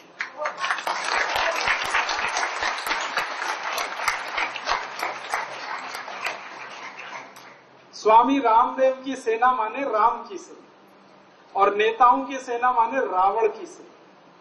तो कंस की सेना, रावण की सेना में जाना है तो भी दरवाज़ा आपके लिए खुला है, क्योंकि दिल्ली कुरुक्षेत्र है। और राम की सेना में आना है तो भी दरवाज़ा खुला है। मैं तो राम की सेना में आ गया। अभी आपके लिए तय करना आप भी आ जाओ तो अच्छा क्योंकि मैं आपको ये कहने आया कि कंस कितना भी पैसे वाला हो, ताकतवर हो, रावण कितना भी पैसे वाला हो, ताकतवर हो, कितना भी ज्ञानी हो, नाश तो होना ही है। रावण का हो चाहे कंस का हर बार रावण को मारने के लिए राम का अवतार हुआ है। हर बार कंस को मारने के लिए कृष्ण का अवतार हुआ तो मुझे ऐसा लग रहा है कि आज के इन हरामी रावणों को मारने का अवतार भी हुआ है। अब आप उनकी सेना में आके सैनिक बन जाओ। मैं बन गया, आप भी बन जाओ। हम सब मिलकर इन रावणों की फौज को, इन कंसों की फौज को पिटाएँगे इस देश से। और इस देश में एक ऐसी व्यवस्था लाएँगे जो फिर से इस देश को सोने की चिड़िया बनाए। और आप बोलेंगे, वो व्यवस्था कैसी होगी? दो तीन मिनट में खत्म करता हूँ। कैसी होगी व्यवस्था? हमारे देश में भगवान श्री राम आदर्श राम जी कहानी आप सबने पढ़ी। राम जी की कहानी मैंने भी पढ़ी है, आपने भी पढ़ी। लेकिन मेरा निवेदन है कि राम जी की कहानी फिर से पढ़िए। मेरी तरफ़ से निवेदन। राम जी की पूरी जो कथा है ना, रामचरित मानस में है, रामायण में है, पूरी मत पढ़िए। एक ही कांड पढ़िए, उसका नाम है अयोध्या कांड। अयोध्या कांड पढ़िए, फिर से पढ़िए। उसमें भरत और राम का संवाद है। उसमें भरत आए हैं राम को मिलने, खड़ाऊ लेके आए हैं। पिताजी की मृत्यु का समाचार लाए हैं कि पिताजी स्वर्गवासी हो गए आपके वियोग में। आप च- वापस चलो। और नहीं चलते तो खड़ाऊं। तो राम जी का भरत से जब मिलन हुआ है तो राम जी ने भरत को सवाल पूछे। चौसठ सवाल पूछे उन्होंने। ये सवालों का जवाब भारत को फिर से सोने की चिड़िया बनाने का रास्ता है। सवाल क्या पूछे हैं? भरत को पहला सवाल पूछा है कि भरत राज्य में तुमको देके आया था। हाँ भरत कहते हाँ मैंने राज्य आपका संभाला हुआ है। तो तुम ये बताओ कि राज्य की प्रजा का क्या हाल है? तो भरत कहते हैं, प्रजा का हाल तो बाद में बताऊँगा। पिताजी स्वर्गवासी हो गए, पहले वो सुन लो। तो उनका पिताजी का तो बताना, पहले प्रजा का बताओ। तो भरत कह रहे हैं कि धन धान्य से तो प्रजा सुखी है, लेकिन आपके नहीं रहने से दुखी। तो राम पूछ रहे हैं, धन धान्य कितना है? कोई भूखा तो नहीं है, कोई प्यासा तो नहीं है, कोई गरीब तो नहीं है, बेकार तो नहीं है तो भरत सबका उत्तर दे रहे हैं कि ना कोई प्यासा है, ना कोई भूखा है, ना कोई बेकार है, ना कोई बेरोजगार है। तब राम कहते हैं कि भरत, तुम आदर्श राजा, तुम ही शासन चलाओ, मेरे आने की ज़रूरत नहीं।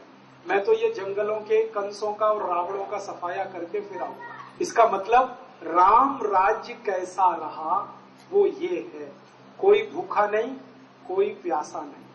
गोस्वामी तुलसीदास ने बड़े सुंदर शब्दों में लिखा, दैहिक, दैविक, भौतिक तापा, राम राज्य में कदहु न व्यापा। माने दैहिक, दैविक और भौतिक, कोई दुख राम राज्य में किसी को हुआ नहीं। तो ऐसा राम राज्य हमें लाना, न कोई भूखा, न कोई प्यासा, न कोई बीमार, न कोई लाचार। आपने सुना स्वामी जी कहते भूख से कोई न मरे और रोग से कोई न मरे। यही राम राज्य जिस देश के लोग भूख से नहीं मरते और जिस देश के लोग बीमारी से नहीं मरते वही राम राज्य तो ऐसा राम राज्य लाना। कोई मुझे पूछता है, तुम्हारा राम राज्य का संविधान क्या है? तो मैं कहता हूँ, मेरा कोई संविधान नहीं है। अयोध्या कांड का संविधान है। जो भरत ने सवालों के उत्तर दिए हैं, वैसी नीतियाँ इस देश में बनानी। राम जी पूछ रहे हैं कि, भरत अपने राज्य में कोई गद्दार तो नहीं, कोई देशद्रोही तो नहीं, कोई देश विरोधी तो नहीं। तो भरत कहते हैं कि अभी तक तो नहीं है। तो राम कह रहे हैं, सावधान रहना, एक भी गद्दार सिर उठाए, उसके पहले कुचल देना। ये राम कह रहे हैं। जो अहिंसावादी है, वो कह रहे हैं, एक भी गद्दार सिर उठाए, उसके पहले कुचल देना। एक भी देशद्रोही का पता चले तो उसको ऐसी कड़ी सजा देना कि दूसरे की रूह काँप जाए। माने दंड कठोर होना चाहिए किसके साथ? देशद्रोहियों के साथ देश विरोधियों के साथ, गद्दारों के साथ। ऐसा राज्य हमें लाना ऐसी दंड नीति लानी राम जी पूछ रहे हैं, भरत, मैं जब से आया, स्कूलों का क्या हाल है? गुरुकुल कैसे चल रहे हैं? शिक्षक समय पर आते हैं, विद्यार्थी पढ़ते हैं, गुरु का आदर करते हैं, ज्ञान उनको मिलता है। तो भरत कहते हैं हाँ बराबर मिलता है। गुरु भी आते हैं, विद्यार्थी भी समय से आते हैं। तो ऐसे चौसठ सवाल पूछे हैं राम जी ने भरत को। वो सारे के सारे चौसठ सवाल राम राज्य का आधार है। उन्हीं चौसठ सवालों को आज हिंदुस्तान में हम हल कर ले तो फिर से राम राज्य आएगा। गरीबी, भुखमरी, बेकारी मिटानी तो हमारी योजना है। मेरी योजना माने आप समझ लो, स्वामी जी की योजना। कि हिंदुस्तान के ये जो हरामी नेताओं ने 60 साल में पैसा जमा करके विदेशी बैंकों में रखा, जो 45 लाख करोड़ है, इसको वापस आप बोलेंगे, ये आएगा? हाँ आएगा। कैसे आएगा? ये ऐसे आएगा कि हमारी संसद में इसके लिए या तो कानून बनाना पड़ेगा, या सुप्रीम कोर्ट में इसके लिए मुकदमा लड़ना पड़ेगा। हम सुप्रीम कोर्ट में जाने की तैयारी पहले कर रहे हैं। सुप्रीम कोर्ट में मुकदमा करेंगे हम शायद अगले साल 2009 में, नहीं तो 10 में तो करना ही। इस मुकदमे पे हज़ारों लाखों लोगों के हस्ताक्षर होंगे वो मैंने कराए, चालीस हज़ार लोगों से हस्ताक्षर कराए। और भी ज़रूरत पड़ी तो कराऊँगा। सुप्रीम कोर्ट के सामने हम जाएँगे। नेताओं के बारे में हमारे पास जो जानकारियाँ हैं, वो हम कोर्ट के सामने रखेंगे। और कोर्ट को कहेंगे कि इन सब नेताओं को नोटिस देकर पूछिए कि इनके पास पैसा, ये देश का पैसा है, कोर्ट इनसे ले। या तो सुप्रीम कोर्ट करे नहीं तो संसद में हमारी तैयारी है कि ऐसे 350 सांसदों को भेजना जो जाकर ये कानून बनाए कि 15 अगस्त उन्नीस के बाद इस देश का जितना धन विदेशों में जमा हुआ, वो देश का धन है, राष्ट्र का धन है नेशनल प्रॉपर्टी जब कानून बने तो हम देखें कौन विरोध कर रहा है इसका जो विरोध करे, पक्का है उसी का पैसा स्विस बैंक में। है और जो विरोध करे उसका मुँह काला करके गधे पे बिठा के सर्कस निकाले पूरी दुनिया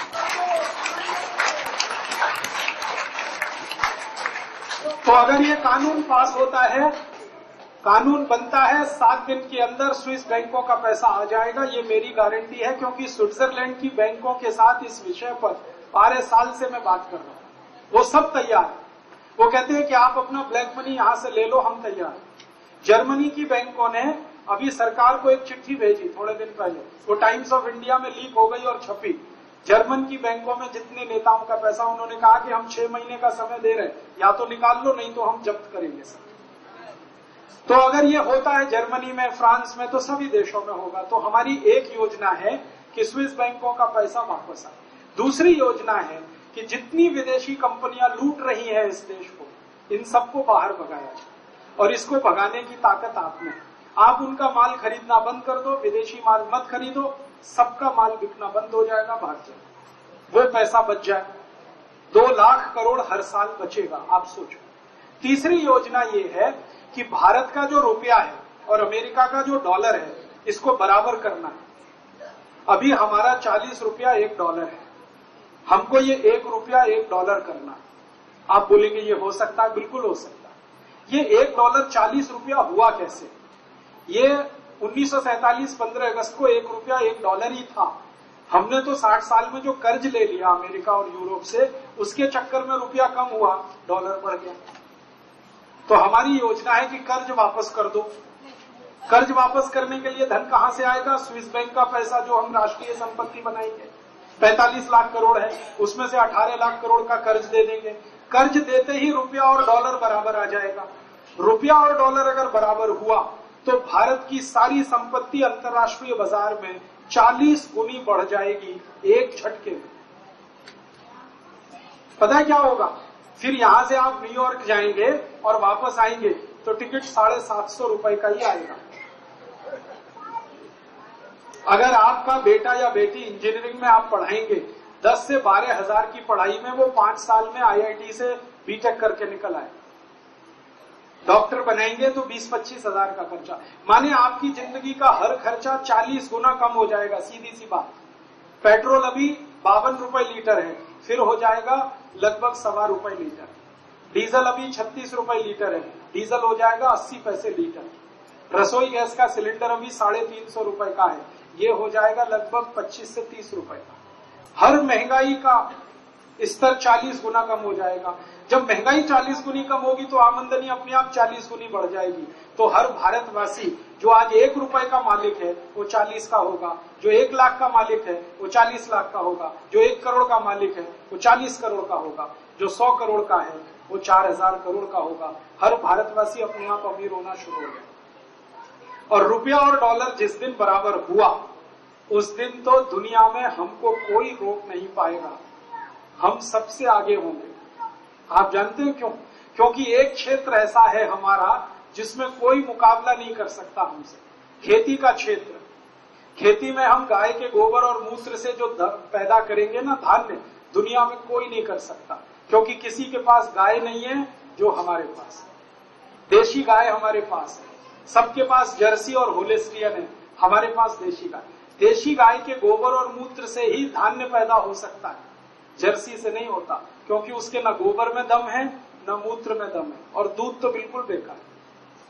तो खेती में हम गोबर और गोमूत्र का चलन करेंगे, करोड़ों किसान गोबर और मूत्र इस्तेमाल करेंगे तो गाय ज़्यादा पालनी पड़ेगी तो गाय की संख्या बढ़ेगी तो बैल की संख्या बढ़ेगी तो बैल ज़्यादा होने से ट्रैक्टर नहीं चाहिए। ट्रैक्टर नहीं चाहिए तो डीजल का लाखों करोड़ों का खर्चा बचेगा, वो किसानों का पैसा बचेगा। और गोबर गोमूत्र से जो अन्न पैदा होगा, उसको हम खाएँगे तो हम स्वस्थ हो जाएँगे, क्योंकि यूरिया डीएपी का जहर नहीं खाना पड़ेगा। यूरिया डीएपी का जहर कम हुआ, गोबर गोमूत्र का अमृत खाने को मिला तो बीमारियाँ ऐसे ही खत्म हो जाएँगी। तो साढ़े छह लाख करोड़ का जो बीमारियों का खर्चा है, वो कम हो जाएगा। तो देश सब तरफ़ से अमीर हो जाए। ऐसी मैंने पचास योजनाएँ बनाई आपको चार पाँच बताई कभी मौका मिला तो और भी बताओ। स्वामी जी को मैं ये सब बता चुका हूँ। ये उन्होंने जब समझ लिया, तभी उन्होंने कहा कि ये राष्ट्र चेतना का काम शुरू करो। ये तो ये जितना भी मैंने बोला है, यही है जो राष्ट्र चेतना कार्यक्रम। आपने यहाँ जो बैनर देखा ये राष्ट्र चेतना में पचास काम हमें करने हैं। एक काम स्विस बैंक का पैसा वापस लाना, दूसरा काम किसानों की खेती गोबर गोमूत्र आधारित करना तीसरा काम अंग्रेज़ों के बनाए हुए टैक्स के कानून बदलना, ऐसे पचास काम। उन कामों की ज़िम्मेदारी स्वामी जी ने मुझे दी है और उसके लिए राष्ट्रीय प्रभारी मुझे नियुक्त किया तो हम सब आप मिलकर इस काम में भी जुड़ जाए तो जल्दी हो जाएगा। होगा तो सही। आप जुड़ेंगे तो थोड़ा जल्दी होगा। नहीं जुड़ेंगे तो होगा तो सही देर में होगा। हम चाहते हैं जल्दी हो, देश का नुकसान कम हो। तो आप योग में लगे, प्राणायाम में लगे, पूरे देश में ये फैल गया। अब आप इस राष्ट्र चेतना के काम में भी थोड़ा थोड़ा समय लगाएँगे तो ये भी बहुत तेज़ी से फैलेगा। और एक दिन इसमें से भी फौज निकलेगी। एक फौज तो योग प्राणायाम करने वालों की।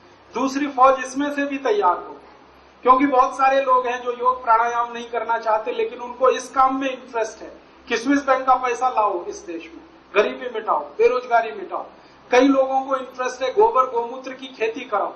तो वो किसानों के बीच में, नौजवानों के बीच में सब तरफ़ से ये काम चले तो फिर इस देश में एक बड़ी क्रांति हो।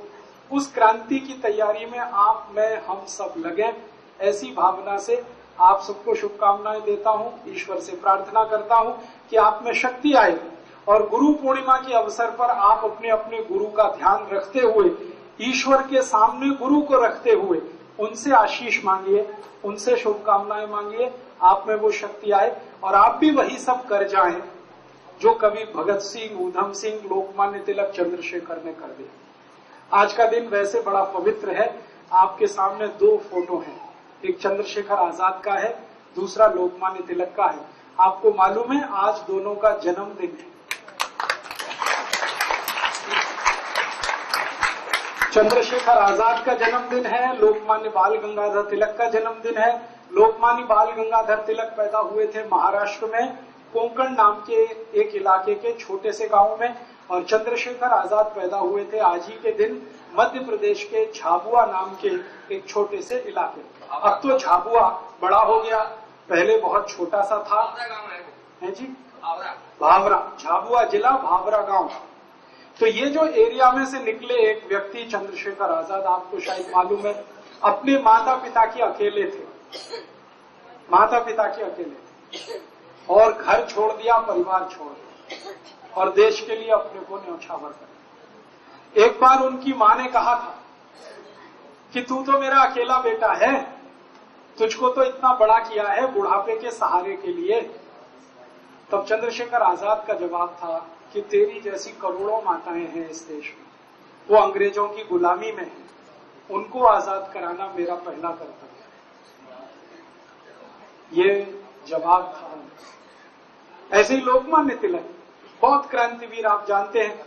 1905 में जब स्वदेशी आंदोलन शुरू हुआ तो उसकी सारी नींव इन्होंने ही रखी, लोकमान्य तिलक। और लोकमान्य तिलक अपने जीवन में सबसे ज़्यादा प्रभावित थे स्वामी दयानंद सरस्वती।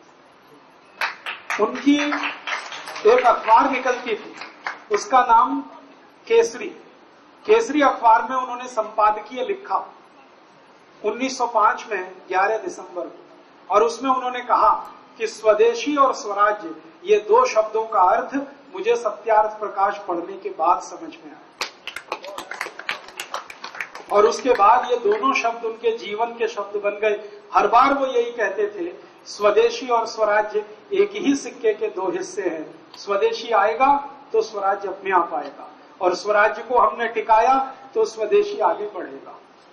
तो वैसे लोकमान्य तिलक जिन्होंने स्वदेशी आंदोलन आगे बढ़ाया, आपको और एक जानकारी दूँ। अंग्रेज़ों की सरकार ने लोकमान्य तिलक, लाला लाजपत राय और विपिन चंद्रपाल इन तीनों नेताओं को हिट लिस्ट में रखा हुआ था।